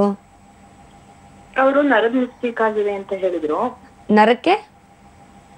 ಮಿಸ್ಟೇಕ್ ಆಗಿದೆ ಅಂತ ಹೇಳಿದ್ರು. ಯೂಶಲಿ ಇದನ್ನ ನಾವು ಸಯಾಟಿಕಾ ಅಂತ ಹೇಳ್ತೀವಿ ಕೆಲವರಿಗೆ. ಓಕೆ ಈ ರುಂಡಿಯಿಂದ ಹಿಡಿದು ಕೆಲವರಿಗೆ ಕಾಲುವರೆಗೂ ನರ ಇಳಿಯುತ್ತೆಮ್ಮ ಪಾದದ ಬೆಟ್ಟುವರೆಗೂ ಆ ನರ ಪಾದ ಹೌದಮ್ಮ ಪಾದದ ಬೆಟ್ಟುವರೆಗೂ ಆ ನರ ಎಳಿತಾ ಇರುತ್ತೆ. ಇದನ್ನ ನಾವು ಸಯಾಟಿಕಾ ಅಂತ ಕೂಡ ಹೇಳ್ತೀವಿ. ಸಯಾಟಿಕ್ ಪೇನ್ ಅಂತ ಕೂಡ ಹೇಳ್ತೀವಿ. ಚೆಳಕ್ ಕೊಡಿಯೋದು ಅಥವಾ ನರ ಎಳ್ತಾ ಬರೋದು ಶೂಟಿಂಗ್ ಪೇನ್ ಒಂಥರ ಇರುತ್ತೆ ಕೆಲವರಿಗೆ. ಈ ಥರ ಜೋಮ್ ಬರೋದು ಬಗ್ಗಕ್ಕಾಗೋದಿಲ್ಲ ಭಾರ ಎತ್ತಕ್ಕಾಗೋದಿಲ್ಲ. ಕೆಲವೊಮ್ಮೆ ನೋವು ಬಂದ್ಬಿಟ್ರೆ ಮೇಡಮ್ ಸಡನ್ನಾಗಿ ಹೆಜ್ಜೆ ಎತ್ತಿಡೋಕ್ಕೂ ಕಷ್ಟ ಆಗ್ತಾ ಇರುತ್ತೆ. ಅಷ್ಟು ಮಟ್ಟಿಗೆ ನರ ಚೆಳಕ್ ಕೊಡಿಯೋದು ಸೆಳ್ತಾ ಬರೋದು ಆಗ್ತಾ ಇರುತ್ತೆ. ಸೊ ಆ ಬಟೆಕ್ಸ್ ಅಥವಾ ರುಂಡಿಯಿಂದ ಹಿಡಿದು ಕೆಲವರಿಗೆ ಪಾದ ಬೆಟ್ಟುವರೆಗೂ ಈ ಥರ ನರ ಎಳ್ತಾ ಅನ್ನೋದು ಕಾಣಿಸ್ಕೊಳ್ಳುತ್ತೆಮ್ಮ ಇದನ್ನ ನಾವು ಸಯಾಟಿಕಾ ಅಂತ ಕೂಡ ಹೇಳ್ತೀವಿ. ಡಿಸ್ಕ್ ಏನಾದರೂ ತೊಂದರೆ ಆಗಿ ಕೂಡ ನರದ ಮೇಲೆ ನರ ಕುತ್ಕೊಂಡಿರೋದ್ರಿಂದ ಕೂಡ ಈ ಥರ ಆಗತ್ತೆ. ಇದನ್ನ ನರದ ಸಮಸ್ಯೆ ಅಂತ ನಾವು ಹೇಳ್ತೀವಿ. ಹಾಗಾಗಿ ನೀವು ಆಲ್ರೆಡಿ ಹೋಗಿ ಭೇಟಿ ಆಗಿದ್ದೀರಾ, ಅದಕ್ಕೆ ನರದ ಪ್ರಾಬ್ಲಮ್ ಡಾಕ್ಟರ್ ಕೂಡ ಹೇಳಿದ್ದಾರೆ ಅಂತ ಹೇಳಿದ್ರೆ ಅಲ್ಲಿ ಕೂಡ ಡಾಕ್ಟರ್ ಕೂಡ. ಸೊ ಅದು ಕೂಡ ಕರೆಕ್ಟಾಗಿ ನಿಮ್ಗೆ ಏನು ಹೇಳಿದಾರಲ್ಲಮ್ಮ? ಅದಕ್ಕೆ ಔಷಧಿ ನೀವು ತಗೊಂಡಿದ್ರು ಕೂಡ ಸ್ವಲ್ಪ ಕಡಿಮೆ ಆಗ್ತಿರುತ್ತೆ ಮತ್ತೆ ತಿರ್ಗ ನಿಮ್ಗೆ ಏನಾದರೂ ಪೇನ್ ಮತ್ತೆ ತಿರ್ಗ ಅದೇ ರೀತಿ ಬರ್ತಾ ಇದೆ ಅಂದರೆ ಖಂಡಿತವಾಗ್ಲೂ ಇದಕ್ಕೆ ಕಾಲಾವಕಾಶ ಅನ್ನೋದು ಬೇಕಿರುತ್ತೆ. ಸಡನ್ ಆಗಿ ಕಡಿಮೆ ಆಗುವಂಥದ್ದಲ್ಲ.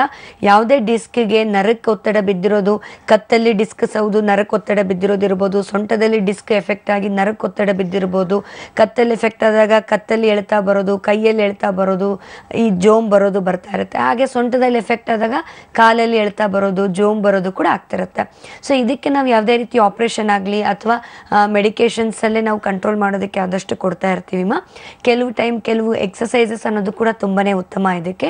ಯಾವ ರೀತಿ ಎಕ್ಸಸೈಸಸ್ ಮಾಡಿಕೊಂಡ್ರೆ ನಿಮ್ಗೆ ಅನುಕೂಲ ಆಗುತ್ತೆ ಅನ್ನೋದು ಕೂಡ ತಿಳಿಸ್ಕೊಡ್ತೀವಿ.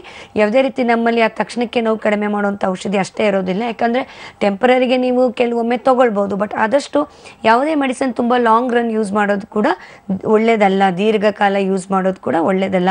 ಯಾಕಂದರೆ ಕೆಲವರಿಗೆ ಸಡನ್ನಾಗಿ ನೋವು ಕಡಿಮೆ ಆಗೋದಕ್ಕೆ ಏನೆಲ್ಲ ಮೆಡಿಸಿನ್ಸ್ ಮಾಡ್ತಾ ಇರ್ತಾರೆ.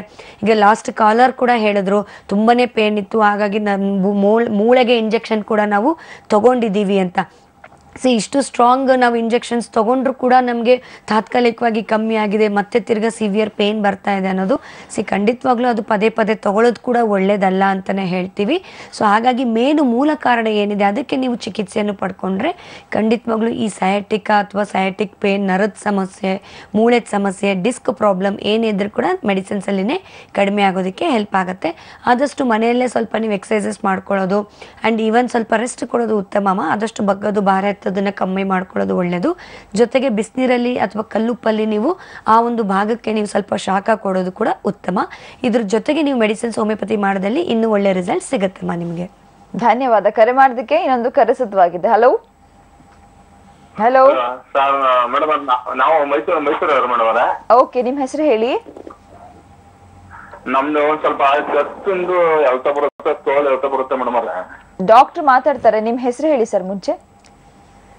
ನಾವು ಹೆಸರು ಕೃಷ್ಣ ಅಂತ ಹೇಳಿ. ಓಕೆ ಇವಾಗ ಡಾಕ್ಟರ್ ಆಶಾ ಅವರು ಮಾತಾಡ್ತಾರೆ. ನಿಮ್ಮ ಪ್ರಶ್ನೆ ಕೇಳಿ. ಹಲೋ ಹೇಳಿ ಹೇಳಿ. ಹೇಳಿ ಕೃಷ್ಣ. ಹೇಳಿ ಕೃಷ್ಣ ಹೇಳಿ ಕೃಷ್ಣ ಅವರೇ. ಸೊ ಈಗ ಕತ್ತಿಂದ ಸೈಡ್ ಭಾಗ ಕತ್ತಿನ ಭಾಗದಲ್ಲೆಲ್ಲ ನರ ಎಳ್ತಾ ಬರ್ತಾ ಇದೆ ಅಂತ ಹೇಳ್ತಾ ಇದ್ದೀರಾ?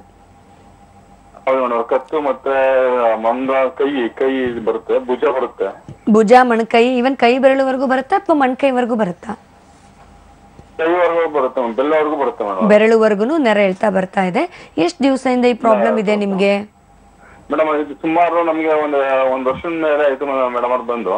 ಓಕೆ ಎಲ್ಲಿ ತೋರ್ಸ್ಕೊಂಡಿದ್ದೀರಾ? ಏನಾದ್ರೂ ಏನ್ ಸಮಸ್ಯೆ ಇದೆ ಅಂತ ಹೇಳಿದಾರೆ? ಇಲ್ಲೂ ಇಲ್ಲೂ ತೋರಿಸಿಲ್ಲ ಮೇಡಮ್ ಅವರ ಇಲ್ಲೂ ತೋರಿಸಿದ ನಾವು ಆರ್ಟ್ ಪ್ರಾಬ್ಲಮ್ ಜೈದ ತೋರಿಸಿದ್ನು. ಓಕೆ. ಜಯದೇವಲ್ಲಿ ಮೇಡಮ್ ಅವರ ಅಲ್ಲಿ ಏನಿಲ್ಲಪ್ಪ ಆಟದ ಏನಿಲ್ಲ ಇದು ನರದ ಡಾಕ್ಟರ್ ತೋರಿಸಿ ಅಂತ ಹೇಳಿ ಮೇಡಮ್ ಅವರ. ಟಿವಿ ನೋಡ್ ಅದಕ್ಕೆ ಫೋನ್ ಮಾಡಿದೆ ಖಂಡಿತ. ಇದು ನರದ ಸಮಸ್ಯೆ ಅಂತಂದ್ರೆ ಆ ಮೂಳೆಗಳು ಏನಾದ್ರು ಎಷ್ಟಿದೆ ನಿಮ್ಮ ಏಜು ನಮ್ಮ ಏಜ್ ಫಾರ್ಟಿ ಟೂ ಮೇಡಮ್ ಅವರ ಓಕೆ ಆಲ್ರೆಡಿ ಒಂದ್ ವರ್ಷ ಆಯ್ತು ಈ ತರ ತೊಂದರೆ ಆಗಿ ಅಂತ ಹೇಳ್ತಿದ್ದೀರಾ? ಮೇನ್ ಮೂಳೆಗಳಿಗೆ ಅಥವಾ ಡಿಸ್ಕ್ ಎಸ್ಪೆಷಲಿ ನಾವು ಕತ್ತಲ್ಲಿ, ಸೊಂಟದಲ್ಲಿ ನೋಡೋದೇನು ಅಂದ್ರೆ ಈ ಡಿಸ್ಕಿಗೆ ಆಗಿ ಒತ್ತಡ ಬೀಳೋವಂಥದ್ದು. ಸಿ ನಾವು ಮಾಡ್ತಿರೋಂಥ ಕೆಲಸ ಆಗಿರ್ಬೋದು, ಅಥವಾ ಡ್ರೈವಿಂಗ್ ಮಾಡೋರಲ್ಲಿರ್ಬೋದು, ಜಾಸ್ತಿ ಟ್ರಾವೆಲಿಂಗ್ ಮಾಡೋರಲ್ಲಿರ್ಬೋದು, ಅಥವಾ ಹಾರ್ಡ್ ವರ್ಕ್ ಮಾಡೋರಂಥವ್ರು ಇರ್ಬೋದು ಸಿಸ್ಟಮ್ ಆಪರೇಟಿಂಗ್ ಜಾಸ್ತಿ ಇರೋವಂಥದ್ದು ಇರ್ಬೋದು ಕಂಪ್ಯೂಟ್ರಲ್ಲಿ ಜಾಸ್ತಿ ಕೆಲಸ ಮಾಡೋವಂಥದ್ದು ಇರ್ಬೋದು, ಒಂದೇ ಕಡೆ ಕುತ್ಕೊಂಡು ಕೆಲಸ ಮಾಡೋವಂಥದ್ದು ಇರ್ಬೋದು. ಸೊ ಈ ತರ ಮಾಡೋವಂಥವ್ರಲ್ಲಿ ಹೆಚ್ಚಾಗಿ ಈ ಮೂಳೆಗಳ ಮೇಲೆ ಒತ್ತಡ ನಮ್ಮ ಬೀಳೋದ್ರಿಂದ, ನಾವು ಮಾಡ್ತಿರೋ ಕೆಲಸದಿಂದ ಆ ಮೂಳೆಗೆ ಅಥವಾ ಡಿಸ್ಕಿಗೆ ಮೇನ್ ಪ್ರೆಷರ್ ಬೀಳ್ತಾ ಇರುತ್ತೆ, ಒತ್ತಡ ಬೀಳ್ತಾ ಇರುತ್ತೆ. ಸೊ ಇದರಿಂದ ಅಲ್ಲಿರೋಂಥ ಸ್ಪೈನಲ್ ನರ್ವ್ಸ್ಗೆ ನರಗಳಿಗೆ ಒತ್ತಡ ಬಿದ್ದಾಗ ಆ ನರ ಎಲ್ಲೆಲ್ಲಿ ಹೋಗುತ್ತೆ ಅಲ್ಲೆಲ್ಲ ಎಳ್ತಾ ಬರುತ್ತೆ. ಜೋಮ್ ಬರುತ್ತೆ. ಎಸ್ಪೆಷಲಿ ಬೆಳಗಿನ ಜಾವದಲ್ಲಿ ಎದ್ದೊಳ್ದಾಗ ನಮಗೆ ತುಂಬಾ ಕತ್ತೆಲ್ಲ ಬಿಗಿ ಇರುತ್ತೆ. ಫ್ರೀಯಾಗಿ ಮೂವ್ಮೆಂಟ್ ಮಾಡೋಕ್ಕಾಗೋದಿಲ್ಲ. ಅಥವಾ ಫ್ರೀಯಾಗಿ ನಮಗೆ ಏನು ಕೆಲಸ ಮಾಡೋಕ್ಕಾಗೋದಿಲ್ಲ. ಭಾರ ಎತ್ತಕ್ಕಾಗೋದಿಲ್ಲ ಅಂತ ಕೂಡ ಹೇಳ್ತಾರೆ. ಸೊ ಯಾವಾಗ ಈ ಥರ ಆಗುತ್ತೆ ಅಂದರೆ ಆ ಕತ್ತು, ಮೂಳೆ ಮತ್ತು ಡಿಸ್ಕ್ಗೆ ಏನಾದರೂ ಎಫೆಕ್ಟ್ ಆದಾಗ ಅದು ಹೆಚ್ಚಾಗಿ ಒತ್ತಡ ಬಿದ್ದು ಬಿದ್ದು ಅದು ಜರಗ್ತಾ ಹೋದಂಗೆಲ್ಲ, ಅಲ್ಲಿ ಹರಡ್ತಾ ಇರೋಂಥ, ಅಲ್ಲಿ ಇರುವಂಥ ನರಗಳಿಗೆ ಅದು ಪ್ರೆಷರ್ ಬೀಳ್ತಾ ಹೋದಂಗೆಲ್ಲ ನರದ ಮೇಲೆ ನರ ಕುತ್ಕೊಂಡಿದೆ ಅಂತ ಕೂಡ ನಾವು ಸಾಮಾನ್ಯವಾಗಿ ಕೆಲವರಿಗೆ ಹೇಳ್ತೀವಿ. ಈ ಥರ ನರದ ಮೇಲೆ ನರ ಕುತ್ಕೊಂಡಾಗ ಈ ನರ ಎಳ್ತಾ ಬರೋಕ್ಕೆ ಸ್ಟಾರ್ಟ್ ಆಗುತ್ತೆ. ಇದನ್ನು ನಾವು ಸ್ಪಾಂಡಲೋಸಿಸ್ ಅಂತ ಕೂಡ ಹೇಳ್ಬೋದು ಅಥವಾ ಡಿಸ್ಕ್ ಪ್ರಾಬ್ಲಮ್ ಏನಾದರೂ ಆಗಿದೆ ಡಿಸ್ಕ್ ಊತ ಆಗಿದೆ ಡಿಸ್ಕ್ ಬಲ್ಜ್ ಆಗಿ ಕೂಡ ನರದ ಮೇಲೆ ಒತ್ತಡ ಬಿದ್ದು ಕತ್ತಿನ ಸೈಡ್ ಭಾಗ ಇರ್ಬೋದು, ಭುಜ ಇರ್ಬೋದು, ಕೈ ಬೆರಳುವರೆಗೂ ಆ ನರ ಎಳೆಯೋದಕ್ಕೆ ಸ್ಟಾರ್ಟ್ ಆಗುತ್ತೆ. ಸೆಳ್ತಾ ಬರುತ್ತೆ, ಜೋಮ್ ಬರುತ್ತೆ. ಅದರಲ್ಲಿ ಏನು ಕೆಲಸ ಮಾಡೋಕ್ಕೆ ಸ್ಟ್ರೆಂತ್ ಕೂಡ ನಮಗಿರೋದಿಲ್ಲ ಅಂತ ಕೂಡ ಹೇಳ್ತಾರೆ. ಇದು ನಿಮಗೆ ಹಾರ್ಟ್ ಸಂಬಂಧಪಟ್ಟಿರೋದಲ್ಲ, ಇದು ನರದ್ದು ಮತ್ತು ಡಿಸ್ಕ್ ಮೂಳೆ ಸಂಬಂಧಪಟ್ಟಿರೋದಾಗಿರೋದ್ರಿಂದ ಖಂಡಿತವಾಗ್ಲೂ ಇದಕ್ಕೆ ಹೋಮಿಯೋಪತಿಯಲ್ಲಿ ಚಿಕಿತ್ಸೆ ಇದೆ. ಒಮ್ಮೆ ಬಂದು ನೀವು ಭೇಟಿಯಾಗಿ ತೋರಿಸ್ಕೊಂಡ್ರೆ ಆ ಪ್ರಾಬ್ಲಮ್ ಮತ್ತಷ್ಟು ಹೆಚ್ಚಾಗ್ಲಿದ್ದಂಗೆ ನಾವು, ಯಾಕಂದರೆ ನರಗಳ ಪ್ರಾಬ್ಲಮ್ ನಾವು ನೆಗ್ಲೆಕ್ಟ್ ಮಾಡಬಾರ್ದು. ಅದು ಮತ್ತಷ್ಟು ಹೆಚ್ಚಾಗ್ತಾ ಹೋದರೆ, ನರಗಳ ಕೆಲಸ ಕಡಿಮೆ ಆಗ್ತಾ ಹೋಯಿತು ಅಂದರೆ, ಮುಂದೆ ಸ್ಪರ್ಶ ಜ್ಞಾನಕ್ಕೆ ತೊಂದರೆ ಆಗೋದು, ಅಥವಾ ಜೋಮ್ ಬರೋದು, ಹೇಳ್ತಾ ಬರೋದು, ಸೆನ್ಸೇಷನ್ ಕಡಿಮೆ ಆಗೋವಂಥದ್ದು ಈ ಥರ ಆಗೋ ಸಾಧ್ಯತೆ ಕೂಡ ಇರುತ್ತೆ. ಆದಷ್ಟು ಬೇಗ ಇದಕ್ಕೆ ಚಿಕಿತ್ಸೆಯನ್ನು ಪಡ್ಕೊಂಡ್ರೆ, ಮುಂದೆ ಯಾವುದೇ ರೀತಿ ಆಪರೇಷನ್ ಇಲ್ಲದಂಗೆ ಕೂಡ ನಮ್ಮ ಹೋಮಿಯೋಪತಿಯಲ್ಲಿ ಅಡ್ವಾನ್ಸ್ಡ್ ಜೆನೆಟಿಕ್ ಕಾನ್ಸ್ಟಿಟ್ಯೂಷನಲ್ ಟ್ರೀಟ್ಮೆಂಟ್ ಮುಖಾಂತರ ಈ ಒಂದು ಸಮಸ್ಯೆಗಳನ್ನ ನಾವು ಸಂಪೂರ್ಣವಾಗಿ ಪರಿಹಾರ ಕೊಡೋದಕ್ಕೆ ಸಹಾಯ ಮಾಡ್ಬೋದು. Thank you so much sir ಕರೆ ಮಾಡೋದಕ್ಕೆ ಧನ್ಯವಾದ ಅಂತ ಹೇಳ್ತಾ, ಇನ್ನೊಬ್ರು caller hello hello all right ಹಾಗೆ ಡಾಕ್ಟರ್, ನಾವು ಟೈಪ್ಸ್ ಬಗ್ಗೆ ಮಾತನಾಡ್ತಾ ಇದ್ವಿ. ತುಂಬಾ ಕಾಮನ್ ಆಗಿ ಕಾಣಿಸ್ಕೊಳ್ಳುವಂತ ಆರ್ಥರೈಟಿಸ್ ಟೈಪ್ಸ್ ನೀವು ಹೇಳ್ತಾ ಇದ್ರಿ, ಏನ್ ಹೇಳ್ತೀರಾ ಸಿ ಡೆಫಿನೆಟ್ಲಿ ಯಾಕಂದ್ರೆ ಇವನ್ ರುಮಟೆಡ್ ಆರ್ಥರೈಟಿಸ್ ಅನ್ನೋದು ಕೂಡ ಕಾಮನ್ ಟೈಪ್ ಅಂತಾನೆ ಹೇಳ್ತೀವಿ. ಈಗ ಎಷ್ಟೋ ಪೇಷಂಟ್ಸ್ ನಾವು ನೋಡ್ತೀವಿ ರುಮಟೆಡ್ ಆರ್ಥರೈಟಿಸ್ ಅನ್ನೋದು ಎಸ್ಪೆಷಲಿ ಅರ್ಲಿ ಏಜ್ ಅಲ್ಲೇ ಆನ್ಸೆಟ್ ಆಗುವಂಥದ್ದು. ಅಂದ್ರೆ ಈಗ ಇಪ್ಪತ್ತು ವರ್ಷ, ಮೂವತ್ತು ವರ್ಷ, ಈ ಏಜ್ ಅಲ್ಲಿ ಹೆಚ್ಚಾಗಿ ನಾವು ನೋಡ್ತೀವಿ. Twenty to forty age groups ಅಲ್ಲಿ ನಾವು ಈ ರಿಮೆಟೆಡ್ ಆರ್ಥರೈಟಿಸ್ ಹೆಚ್ಚಾಗಿ ನೋಡ್ತೀವಿ. ಇದನ್ನ ನಾವು ಕೀಲು ವಾಯು ಅನ್ಬೋದು, ಸಂಧಿವಾತ ಅನ್ಬೋದು, ಕೈ ಬೆರಳಲ್ಲಿ, ಕಾಲ್ ಬೆರಳಲ್ಲಿ ರಿಸ್ಟ್ ಜಾಯಿಂಟಲ್ಲಿ ಮಣ್ಕೈಯಲ್ಲಿ ಮಣ್ಕಾಲಲ್ಲಿ ಅಥವಾ ಕತ್ತಲ್ಲಿ ಭುಜದಲ್ಲಿ ಸೊಂಟದಲ್ಲಿ ಈ ಥರ ಪ್ರತಿಯೊಂದು ಜಾಯಿಂಟಿಗೆ ಅದು ನೋವು ಹರಡ್ತಾ ಹೋಗುತ್ತೆ ಹಾಗೆ ಜಾಯಿಂಟಲ್ಲಿ ಎಲ್ಲ ಬಿಗಿ ಆಗಿಬಿಡುತ್ತೆ ಊದ್ಕೊಂಡ್ಬಿಡುತ್ತೆ. ಜಾಯಿಂಟಲ್ಲಿ ಮೂವ್ ಮಾಡೋಕ್ಕಾಗೋದಿಲ್ಲ ನಮಗೆ. ಬೆಳಗಿನ ಜಾವದಲ್ಲಿ ಎದ್ದ ತಕ್ಷಣಕ್ಕೆ ತುಂಬ ನೋವು ಇರುತ್ತೆ. ಶೀತದ ಟೈಮಲ್ಲಿ ನಮಗೆ ನೋವು ಜಾಸ್ತಿ ಆಗುತ್ತೆ ಅಂತ ಕೂಡ ಹೇಳ್ತಾರೆ. ಈ ಒಂದು ಲಕ್ಷಣಗಳು ಏನಾದರೂ ಕಂಡಲ್ಲಿದೆನಾ? ನಾವು ಕೀಲು ವಾಯು ಸಂಧಿವಾತ ರುಮಟೆಡ್ ಆರ್ಥರೈಟಿಸ್ ಅಂತ ಕೂಡ ಹೇಳ್ಬೋದು. Okay doctor caller hello hello hello ನಮಸ್ತೆ ನಿಮ್ಮ ಹೆಸರು? ಹಲೋ ಮೇಡಮ್ ನಮಸ್ತೆ ರೀ. ನಮಸ್ತೆ ನಿಮ್ ಹೆಸರು ಹೇಳಿ? ನನ್ ನನ್ನ ಹೆಸರು ಲಕ್ಷ್ಮಿ ಅಂತ ರೀ ಗಂಗಾವರದಿಂದ ಮಾಡಿವ್ರಿ ಕಾಲ್ ಮಾಡಿವ್ರಿ. ಸರಿ ಡಾಕ್ಟರ್ ಮಾತಾಡ್ತಾರೆ ಮಾ ಮಾತಾಡಿ. ಮೇಡಮ್. ಹಲೋ? ಹಲೋ ಮೇಡಮ್ ನಮಸ್ತೆ. ನಮಸ್ತೆ ಮಾ ಲಕ್ಷ್ಮಿ ಅವರು ಹೇಳಿ ಏನ್ ಸಮಸ್ಯೆ ಇದೆ? ನಮ್ ತಾಯಾರಿಗ್ರಿ ಮಂಡಿ ನೋವು ಬೆನ್ ನೋವು ಕತ್ ನೋವು ಐತ್ರಿ. ಅವ್ರಿಗೆ ಈಗ ಎರಡ್ ತಿಂಗಳಿಂದ ಚಿಕನ್ ಮುಂದೆ ಬಂದಿತ್ರಿ. ಓಕೆ ಮಾ. ಅದಕ್ ಬಾಳ ತ್ರಾಸ ಆಗತ್ರಿ ಅದಕ್ ಏನ್ ಮಾಡ್ಬೇಕ್ರಿ ಓಕೆ ಔಷಧಿ ಏನಾದರೂ ತಗೊಳ್ತಾ ಇದ್ರಮ್ಮ ನಿಮ್ ತಾಯಿಯವರು? ಹಾ ತಗೊಂತ ಇದ್ರಿ ಮೇಡಮ್. ತಗೊಳ್ತಾ ಇದಾರೆ ಇದಕ್ಕೆ ಮೆಡಿಕೇಶನ್ಸ್ ಎರಡು ತಿಂಗಳಿಂದ ಇತ್ತೀಚೆಗೆ ಅಷ್ಟೇ ಈ ತರ ನೋವು ಬಂದಿರೋದಾ? ಅಥವಾ ಅದ್ರ ಮುಂಚೆ ಏನೂ ನೋವು ಬರ್ತಾ ಇರ್ಲಿಲ್ವಮ್ಮ ಅವ್ರಿಗೆ? ಹೌದಮ್ಮ ಹೌದಮ್ಮ ವಯಸ್ಸು ಎಷ್ಟಿದೆ ಅವ್ರಿಗೆ? ವಯಸ್ಸು ನಲವತ್ತ. ಓಕೆಮ್ಮ ಈಗ ನೋಡಿ ಈ ವಯಸ್ಸಲ್ಲಿ ಏನಾಗುತ್ತೆ? ಯೂಶಲಿ ಅವ್ರಿಗೆ ಈಗ ಚಿಕನ್ ಗೂನಿಯ ಕೂಡ ಎರಡು ತಿಂಗಳಿಂದ ಬಂದಿದೆ ಅಂದರೆ ಚಿಕನ್ ಗೂನಿ ಅನ್ನೋದು ವೈರಲ್ ಇನ್ಫೆಕ್ಷನ್ ಅಂತ ಹೇಳ್ತೀವಿ. ಈ ವೈರಲ್ ಇನ್ಫೆಕ್ಷನ್ ಅನ್ನೋದ್ರಿಂದ ಈಗ ಚಿಕನ್ ಗುನಿ ಒಮ್ಮೆ ಬಂದರೆ ಕೆಲವರಿಗೆ ಆರು ತಿಂಗಳಾದರೂ ಕೂಡ, ವರ್ಷ ಆದರೂ ಕೂಡ, ಎರಡು ವರ್ಷ ಆದರೂ ಕೂಡ ಸ್ವಲ್ಪ ನೋವು ಅನ್ನೋದು ಕಾಣ್ತಾ ಇರುತ್ತೆ. ಬಿಕಾಸ್ ಈ ಚಿಕನ್ ಗುನಿಯ ಬಂದಿರೋರಿಗೆ, ಈ ವೈರಲ್ ಇನ್ಫೆಕ್ಷನ್ ಬಂದಿರೋರಿಗೆ ರೋಗ ನಿರೋಧಕ ಶಕ್ತಿ ಕೂಡ ಕಮ್ಮಿ ಆಗುತ್ತೆ. ಸೊ ಕಮ್ಮಿ ಆದಾಗ ಏನಾಗುತ್ತೆ? ಆ ಇನ್ಫೆಕ್ಷನ್ ಮತ್ತೆ ಮತ್ತೆ ಸ್ವಲ್ಪ ಸ್ವಲ್ಪ ಜಾಸ್ತಿ ಆಗ್ತಾ ಇರುತ್ತೆ. ಯಾವಾಗ ನಮ್ಮ ರೋಗ ನಿರೋಧಕ ಶಕ್ತಿ ಕಮ್ಮಿ ಆದಂಗೆಲ್ಲ ಮತ್ತೆ ತಿರ್ಗಾ ಆ ವೈರಲ್ ಇನ್ಫೆಕ್ಷನ್ ಜಾಸ್ತಿ ಆಗುತ್ತೆ ಮತ್ತೆ ಜಾಯಿಂಟ್ಸ್ ಪೇನ್ ಬರ್ತಾ ಇರುತ್ತೆ. ಅದಕ್ಕೆ ಟೈಮ್ ಅನ್ನೋದು ಬೇಕಿರುತ್ತೆ ಮ, ಚಿಕನ್ ಗುನಿಯ ಬಂದಿರೋರಿಗೆ. ಸೊ ಇದು ದೀರ್ಘಕಾಲನೇ ಇದು ನಿಧಾನವಾಗಿಯೇ ಕಮ್ಮಿ ಆಗುತ್ತೆ. ನಿಮ್ಗೆ ಇನ್ನೂ ಕಮ್ಮಿ ಆಗ್ತಾ ಇಲ್ಲ, ಅದೇ ಥರ ತೊಂದರೆ ಆಗ್ತಿದೆ ಅಂದರೆ ನಮ್ಮ ಹೋಮಿಯೋಪತಿಯಲ್ಲಿ ನಾವು ಇನ್ಫೆಕ್ಷನ್ಸ್ ಕಮ್ಮಿ ಮಾಡೋದಕ್ಕೂ ಚಿಕಿತ್ಸೆ ಕೊಡ್ತಾ ಇರ್ತೀವಿ. ಜೊತೆಗೆ ಅವರ ರೋಗ ನಿರೋಧಕ ಶಕ್ತಿ ಹೆಚ್ಚಿಸೋದಕ್ಕೆ ಕೂಡ ನಾವು ಔಷಧಿ ಕೊಡ್ತಾ ಇರ್ತೀವಿ. ಇದರಿಂದ ಮುಂದೆ ಅವರ ರೋಗ ನಿರೋಧಕ ಶಕ್ತಿ ಕಡಿಮೆ ಆದರೂ ಕೂಡ ಮತ್ತೆ ತಿರ್ಗಿ ಅದು ಪೇನ್ ಜಾಸ್ತಿ ಆಗ್ತಿರುತ್ತೆ. ಸೊ ಹಾಗಾಗಿ ಆ ರೋಗ ನಿರೋಧಕ ಶಕ್ತಿ ಹೆಚ್ಚಾಗೋದಕ್ಕೆ ನಾವು ಔಷಧಿ ಕೊಡ್ತಾ ಬಂದಂಗೆಲ್ಲ. ಮತ್ತೆ ತಿರ್ಗಾ ಇನ್ಫೆಕ್ಷನ್ ನಿಮ್ಮ ಬಾಡಿಯಲ್ಲಿ ಹೆಚ್ಚಾಗೋದು ಕಡಿಮೆ ಆಗ್ತಾ ಹೋಗುತ್ತೆ. ಹಾಗೆ ಮೂಳೆಗಳಿಗೆ ಸ್ಟ್ರೆಂತ್ ಬರೋದಕ್ಕೂ ನಾವು ಔಷಧಿ ಕೊಡೋದ್ರಿಂದ ಮತ್ತೆ ಚಿಕನ್ ಗೂನಿಯಾ ಇರ್ಬೋದು ವೈರಲ್ ಆರ್ಥ್ರೈಟಿಸ್ ಇರ್ಬೋದು, ಏನೇ ಒಂದು ಜಾಯಿಂಟ್ಸ್ ಪೇನ್ ಇದ್ರೂ ಕೂಡ ಕಡಿಮೆ ಆಗ್ತಾ ಹೋಗುತ್ತೆ ಮಾ ಅವ್ರಿಗೆ. ಥ್ಯಾಂಕ್ ಯು ಸೋ ಮಚ್ ಕರೆ ಮಾಡೋದಕ್ಕೆ ಧನ್ಯವಾದ. ಹಾಗೆ ಡಾಕ್ಟರ್ ಇವಾಗ ಕಾಂಪ್ಲಿಕೇಶನ್ಸ್ಗಳ ಬರೋದಾದ್ರೆ ಅರ್ಥರೈಟಿಸ್ ಇವಾಗ ಏನೇ ಒಂದು ಕಾಯಿಲೆ ಬಂದರೂ ಕೂಡ ಅದರಿಂದ ಬೇರೆ ಬೇರೆ ರೀತಿಯ ಕಾಂಪ್ಲಿಕೇಶನ್ಸ್ಗಳು ಖಂಡಿತ ಆಗುತ್ತೆ. ಇದರಿಂದ ಆಗುವಂತ ಮೇಜರ್ ಕಾಂಪ್ಲಿಕೇಶನ್ಸ್ಗಳ ಬಗ್ಗೆ ತಿಳಿಸಿ ಡಾಕ್ಟರ್ ಸಿ ಯೂಶಲಿ ಆರ್ಥರೈಟಿಸ್ ಅನ್ನೋದು ನಮ್ಮ ಜಾಯಿಂಟ್ಸ್ ಅಂತ ಏನು ಹೇಳ್ತೀವಿ ಎಲ್ಲರಿಗೂ ತುಂಬಾ ಮುಖ್ಯವಾಗಿ ಬೇಕು. ಯಾಕಂದರೆ ನಮ್ಮ ದಿನನಿತ್ಯ ಕೆಲಸ ಮಾಡ್ಕೊಳ್ಬೇಕು, ನಮ್ಮ ಕೆಲಸ ಆ್ಯಕ್ಟಿವಿಟೀಸ್ ಮಾಡ್ಕೊಳ್ಬೇಕು, ನಾವು ನಡೆದಾಡಬೇಕು, ಓಡಾಡಬೇಕು. ಈಗ ಒಂದೇ ಕಡೆ ಕುತ್ಕೊಂಡು ಮಲ್ಕೊಂಡಿರೋ ಖಂಡಿತವಾಗ್ಲೂ ಆಗೋದಿಲ್ಲ. ಯಾರಿಗೂ ಯಾವ ಏಜಲ್ಲಾದ್ರೂ ಆಗೋದಿಲ್ಲ. ಇವನ್ ಎಪ್ಪತ್ತು ವರ್ಷ, ಎಂಬತ್ತು ವರ್ಷ ಆಗಿರ್ಬೋದು, ಐವತ್ತು ವರ್ಷ, ಇಪ್ಪತ್ತು ವರ್ಷ ಆಗಿರ್ಬೋದು ಎನಿ ಏಜ್ ಗ್ರೂಪ್ ಇದ್ರೂ ಕೂಡ ಒಂದೇ ಕಡೆ ಕುತ್ಕೊಳ್ಳಿ, ಒಂದೇ ಕಡೆ ಮಲ್ಕೊಳ್ಳಿ ಅಂದರೆ ಖಂಡಿತವಾಗ್ಲೂ ಯಾರಿಗೇ ಆಗಲಿ ಕಷ್ಟ ಆಗುತ್ತೆ. ಸೊ ಓಡ ಓಡಾಡಬೇಕು ನಾವು, ನಡೆದಾಡಬೇಕು ಅಂದರೆ ನಮಗೆ ಮೂಮೆಂಟ್ಸ್ ಬೇಕು. ಮೂಮೆಂಟ್ಸ್ ಆ ಜಾಯಿಂಟ್ಸ್ ನಮಗೆ ಕರೆಕ್ಟಾಗಿ ಸ್ಟ್ರೆಂತ್ ಇತ್ತಂದರೆ ನಾವೆಲ್ಲ ಮೂಮೆಂಟ್ಸ್ ಮಾಡ್ಕೊಳ್ಬೋದು. ಸೊ ಯಾವಾಗ ಈ ಜಾಯಿಂಟ್ಸ್ಗೆ ತೊಂದರೆ ಆಗೋಕ್ಕೆ ಸ್ಟಾರ್ಟ್ ಆಗುತ್ತೆ? ನಮ್ಮ ಡೈಲಿ ಮೂಮೆಂಟ್ಸು ದಿನನಿತ್ಯ ಕೆಲಸ ಕಳ್ಕೊಳ್ಳೋಕ್ಕೆ ಸ್ಟಾರ್ಟ್ ಆಗುತ್ತೆ. ಸಿ ಜಾಯಿಂಟ್ಸ್ ಅನ್ನೋದು ನಮ್ಮ ಕತ್ತಲ್ಲಾಗ್ಬೋದು, ಸೊಂಟ ಆಗ್ಬೋದು, ಭುಜ ಆಗ್ಬೋದು, ಕೈ ಬೆರಳಲ್ಲಾಗ್ಬೋದು, ಮಂಡಿ ಆಗ್ಬೋದು ಹಿಪ್ ಜಾಯಿಂಟ್ ಆಗ್ಬೋದು. ಲಾಸ್ಟ್ ಕಾಲರ್ ಕೂಡ ಹೇಳಿದ್ರು, ರುಂಡಿಯಿಂದ ಕಾಲು ಎಳ್ತಾ ಬರ್ತಿದೆ ಸೈಟಿಕ್ ಪೇನ್ ಆದರೆ ಹಿಪ್ಪಲ್ಲಿ ಏನಾದರೂ ಜಾಯಿಂಟಲ್ಲಿ ಆಗ್ಬೋದು, ಎಲ್ಲಾದರೂ ಪೇನ್ಸ್ ಬರ್ಬೋದು. ಸಿ ಇಂಥದೇ ಪೇನ್ ಅಂತ ಅಲ್ಲ ಆರ್ಥ್ರೈಟಿಸ್ ಅನ್ನೋದು ಯಾವ ಜಾಯಿಂಟಲ್ಲಾದರೂ ಎಫೆಕ್ಟ್ ಆಗೋ ಸಾಧ್ಯತೆ ಇರುತ್ತೆ. ಕೀಲು ವಾಯು ಅಂತ ಹೇಳ್ತೀವಿ. ಈ ಕೀಲು ವಾಯಿನ ಖಂಡಿತವಾಗ್ಲೂ ನಾವು ನೆಗ್ಲೆಕ್ಟ್ ಮಾಡಬಾರ್ದು. ಬಿಕಾಸ್ ಒಂದು ಜಾಯಿಂಟಿಂದ ಇನ್ನೊಂದು ಜಾಯಿಂಟಿಗೆ ನೋವು ಹರಡ್ತಾನೆ ಇರುತ್ತೆ ಶಿಫ್ಟ್ ಆಗ್ತಾನೆ ಇರುತ್ತೆ, ತುಂಬ ಪೇನ್ ಇರುತ್ತೆ. ಜಾಯಿಂಟ್ ಎಲ್ಲ ಊದ್ಕೊಂಡ್ಬಿಡ್ತವೆ, ಬಾವು ಬರ್ತವೆ. ಮೂಮೆಂಟ್ ಮಾಡೋಕ್ಕಾಗೋದಿಲ್ಲ, ಹೆಜ್ಜೆ ಎತ್ತಿಡೋಕ್ಕಾಗ್ತಾ ಇಲ್ಲ ನಮಗೆ.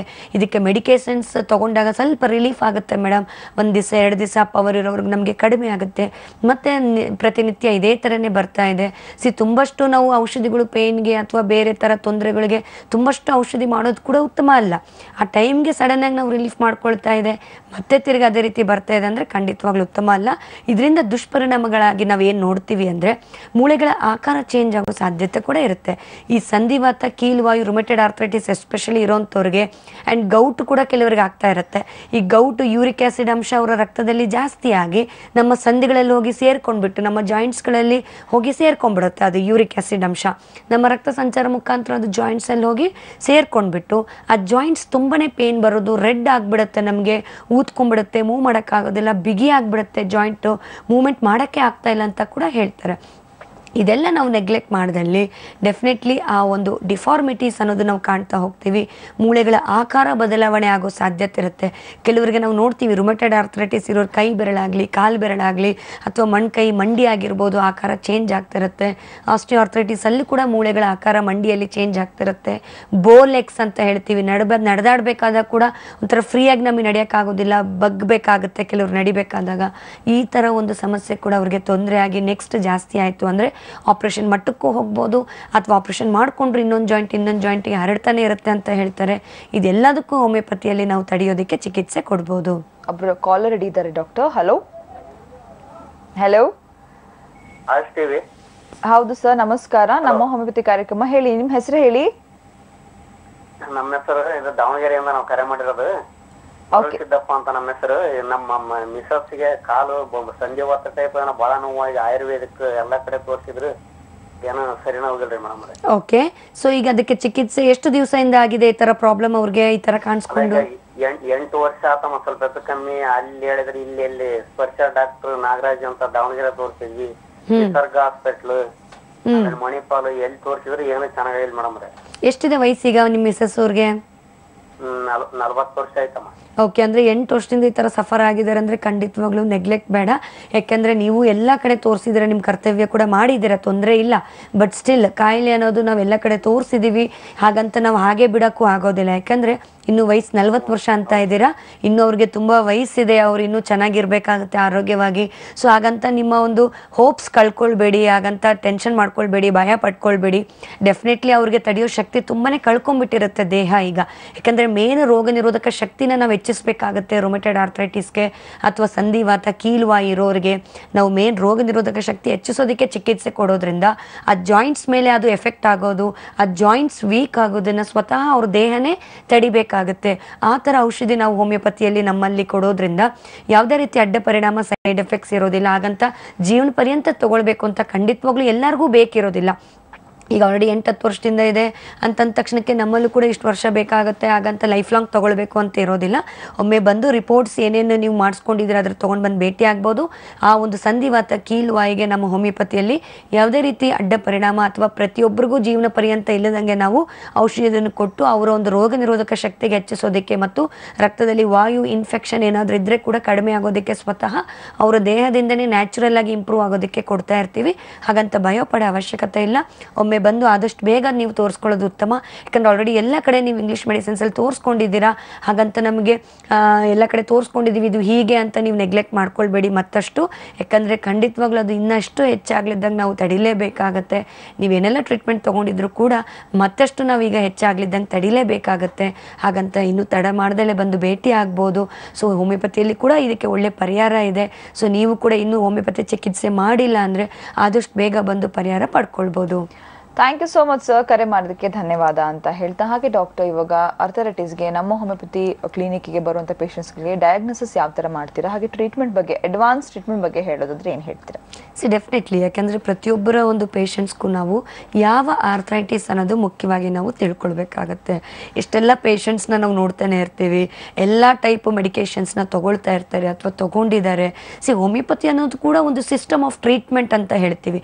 ಹಾಗಂತ ಇಲ್ಲಿ ಬಂದಿದ ತಕ್ಷಣ ನಿಮಗೆ ತಕ್ಷಣಕ್ಕೆ ನಾವು ಕ್ಲಿಯರ್ ಮಾಡ್ತೀವಿ ಅನ್ನೋದಕ್ಕೂ ಕಷ್ಟ ಆಗುತ್ತೆ. ಯಾಕಂದರೆ ಎಲ್ಲ ಥರ ಕಾಯಿಲೆಗೂ ಒಂದೇ ರೀತಿ ಪರಿಹಾರ ಇರೋದಿಲ್ಲ. ಎಲ್ಲ ಥರ ಆರ್ಥ್ರೈಟಿಸ್ಗೂ ಒಂದೇ ಥರ ಸೊಲ್ಯೂಷನ್ ಇರೋದಿಲ್ಲ. ಅವರ ಬಾಡಿ ಮಟ್ಟಿಗೆ, ಎಷ್ಟು ಮಟ್ಟಿಗೆ ಅವರ ಒಂದು ದೇಹ ಸ್ಪಂದಿಸೋ ಶಕ್ತಿ ಕಳ್ಕೊಂಡಿದೆ, ಜೊತೆಗೆ ಆ ಆರ್ಥ್ರೈಟಿಸ್ ಅವರ ಬಾಡಿಗೆ ಎಷ್ಟು ಮಟ್ಟಿಗೆ ಇಂಪ್ಯಾಕ್ಟ್ ಆಗಿದೆ ಅನ್ನೋದು ಕೂಡ ನಾವು ನೋಡಬೇಕಾಗತ್ತೆ. ಸಿ ಡಯಾಗ್ನೋಸಿಸ್ ಅನ್ನೋದು ಕೂಡ ತುಂಬಾ ಮುಖ್ಯ. ಕೆಲವು ಆರ್ಥ್ರೈಟಿಸ್ ಲೈಫ್ ಲಾಂಗ್ ಇರುವಂಥ ಆರ್ಥ್ರೈಟಿಸ್ ಇರುತ್ತೆ. ಕೆಲವು ಆರ್ಥ್ರೈಟಿಸ್ ದೀರ್ಘಕಾಲ ಇರುವಂಥ ಆರ್ಥ್ರೈಟಿಸೇ ಇರುತ್ತೆ. ಹಾಗಂತ ನಾವು ಹೋಮಿಯೋಪತಿ ಬಂದಿದ ತಕ್ಷಣಕ್ಕೆ ನಮಗೆ ಬೇಗನೆ ನಮಗೆ ವಾಸಿ ಆಗಿಬಿಡುತ್ತೆ ಅಂತಲ್ಲ ಡೆಫಿನೆಟ್ಲಿ ಅದಕ್ಕೆ ನಾವು ಆದಷ್ಟು ಬೇಗ ವಾಸಿ ಆಗೋದಕ್ಕೆ ನಾವು ಸಹಾಯ ಮಾಡ್ಬೋದು. ಎಷ್ಟೋ ಪೇಷಂಟ್ಸ್ಗೆ ಅರ್ಲಿ ಸ್ಟೇಜಸಲ್ಲಿ ತೊಗೊಂಡಿರೋಂಥವ್ರಿಗೆ ಜೀವನ ಪರ್ಯಂತ ಇಲ್ಲದಂಗೆ ನಾವು ಅಥವಾ ವರ್ಷಾನ್ಗಟ್ಲೆ ಸಫರ್ ಮಾಡಲಿದ್ದಂಗೆ ಆದಷ್ಟು ಅವರ ಒಂದು ಮೂಳೆಗಳ ಸಾಂದ್ರತೆ ಹೆಚ್ಚಿಸೋದಕ್ಕೆ, ಅವರ ಒಂದು ವಾಯು ಆಗಿರ್ಬೋದು, ರಕ್ತದಲ್ಲಿ ಇನ್ಫೆಕ್ಷನ್ಸ್ ಇರ್ಬೋದು ವೈರಲ್ ಇನ್ಫೆಕ್ಷನ್ಸಿಂದ ಬರುವಂಥ ಆರ್ಥ್ರೈಟಿಸ್ ಇರ್ಬೋದು ಅಥವಾ ಸಂಧಿವಾತದಿಂದ ಬರುವಂಥ ರೊಮೆಟೆಡ್ ಆರ್ಥ್ರೈಟಿಸ್ ಪ್ರಾಬ್ಲಮ್ ಇರ್ಬೋದು, ಇದೆಲ್ಲ ಮೇನ್ ರೋಗ ನಿರೋಧಕ ಶಕ್ತಿ ಎಫೆಕ್ಟ್ ಆಗೋದ್ರಿಂದ ನಮ್ಮ ಜಾಯಿಂಟ್ಸು ಮತ್ತು ಟಿಶ್ಯೂಸು ಮತ್ತು ಕಾರ್ಟಿಲೇಜ್ನ ಡ್ಯಾಮೇಜ್ ಮಾಡ್ತಾ ಹೋಗುತ್ತೆ. ಇದರಿಂದ ಆ ಜಾಯಿಂಟ್ ಸಿವಿಯರ್ ಪೇನ್ ಆಗ್ತಾ ಇರುತ್ತೆ.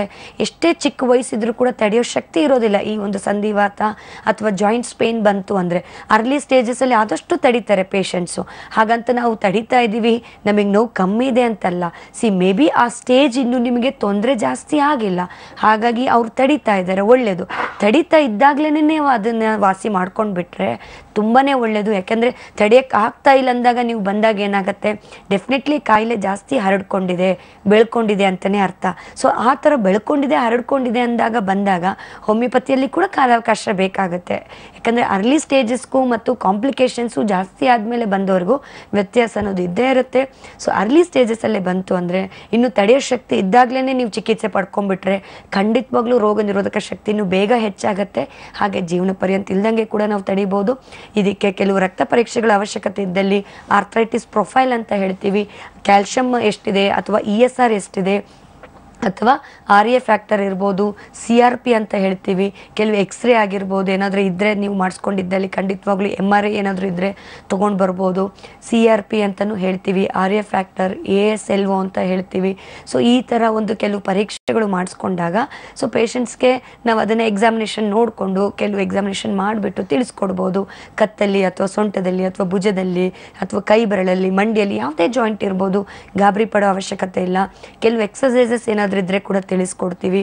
ಯಾವ ಟೈಪ್ ಆಫ್ ಆರ್ಥ್ರೈಟಿಸ್ ಅವರಲ್ಲಿ ಬಂದಿದೆ, ಯೂರಿಕ್ ಆ್ಯಸಿಡ್ ಅಂಶ ಏನಾದರೂ ಜಾಸ್ತಿ ಆಗ್ತಿದೆಯಾ? ಅದನ್ನೆಲ್ಲ ನಾವು ನೋಡಿಕೊಂಡು ಅವ್ರಿಗೆ ತಕ್ಕಾಗೆ ಚಿಕಿತ್ಸೆ ಕೊಟ್ಟಾಗ ಖಂಡಿತವಾಗ್ಲೂ ಯಾವುದೇ ಟೈಪ್ ಆಫ್ ಆರ್ಥ್ರೈಟಿಸ್ ಇದ್ದರೂ ಕೂಡ ಕೆಲವು ಆಹಾರ ಪದ್ಧತಿ ಕೂಡ ಅವಶ್ಯಕತೆ ಇರುತ್ತೆ. ಯಾಕಂದರೆ ಮೂಳೆ ಸವಿತ ಇರೋನಿಗೆ ಕೆಲವರು ಆಹಾರ ಕ್ಯಾಲ್ಶಿಯಂ ಪದಾರ್ಥನೇ ಹೆಚ್ಚಾಗಿ ನಾವು ಆಹಾರದಲ್ಲಿ ಮಾಡ್ಕೊಳ್ಬೇಕಾಗತ್ತೆ. ಹಾಲು ಮತ್ತು ಮೊಟ್ಟೆ ಹೆಚ್ಚಾಗಿ ನಾವು ಬಳಕೆ ಮಾಡಿ ಅಂತೀವಿ, ರಾಗಿ ಬಳಕೆ ಮಾಡಿ ಅಂತ ಹೇಳ್ತೀವಿ. ಹಾಗೆ ಈಗ ಸಂಧಿವಾತ, ಕೀಲುವ ಇರೋರಿಗೆ ಅವರೆಕಾಯಿ ಬದನೆಕಾಯಿ ಆಲೂಗಡ್ಡೆ ಸೊ ಹೆಚ್ಚಾಗಿ ಬಟಾಣಿ ಕಾಳುಗಳು ಅಥವಾ ನಾನ್ ವೆಜ್ಜು ಈ ಥರ ಕಮ್ಮಿ ಮಾಡ್ಕೊಳ್ಳೋದು ಉತ್ತಮ ಅಂತ ಹೇಳ್ತೀವಿ.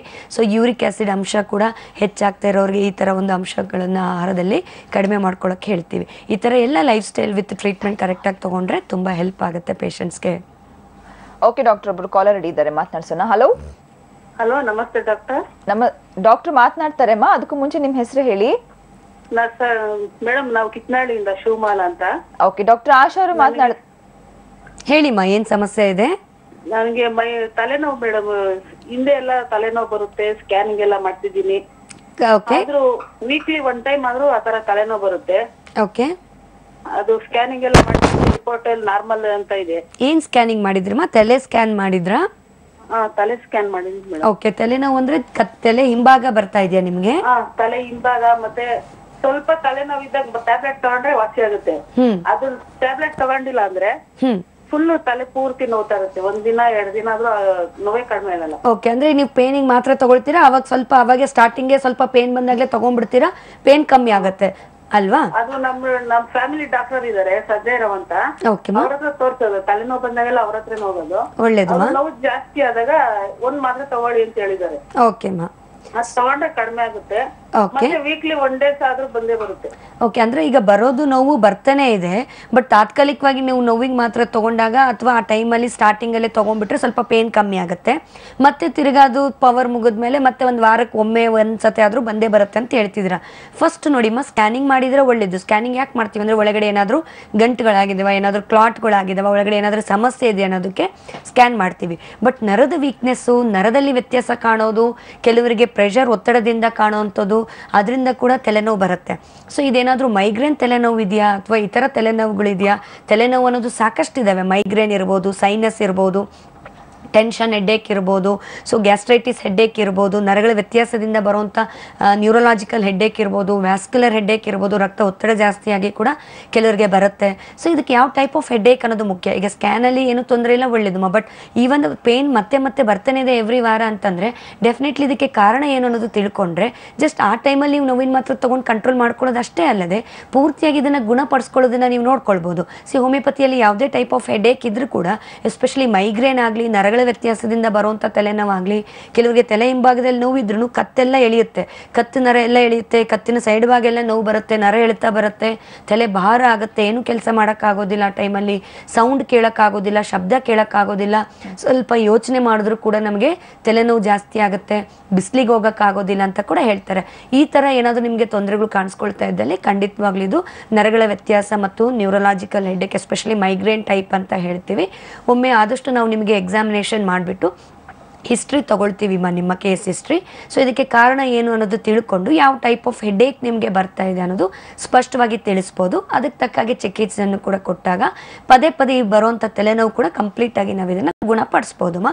ಸೊ ಆದಷ್ಟು ತಾತ್ಕಾಲಿಕವಾಗಿ ಅಷ್ಟೇ ಅಲ್ಲದೆ ಇದನ್ನು ಪೂರ್ತಿಯಾಗಿ ನಾವು ಗುಣಪಡಿಸೋದಕ್ಕೆ ಕೂಡ ನಮ್ಮ ಹೋಮಿಯೋಪತಿಯಲ್ಲಿ ಅಡ್ವಾನ್ಸ್ಡ್ ಜೆನೆಟಿಕ್ ಕಾನ್ಸ್ಟಿಟ್ಯೂಷನಲ್ ಟ್ರೀಟ್ಮೆಂಟ್ ಮುಖಾಂತರ ನಿಮಗೆ ಹೆಲ್ಪ್ ಮಾಡ್ಬೋದು ಮಾ.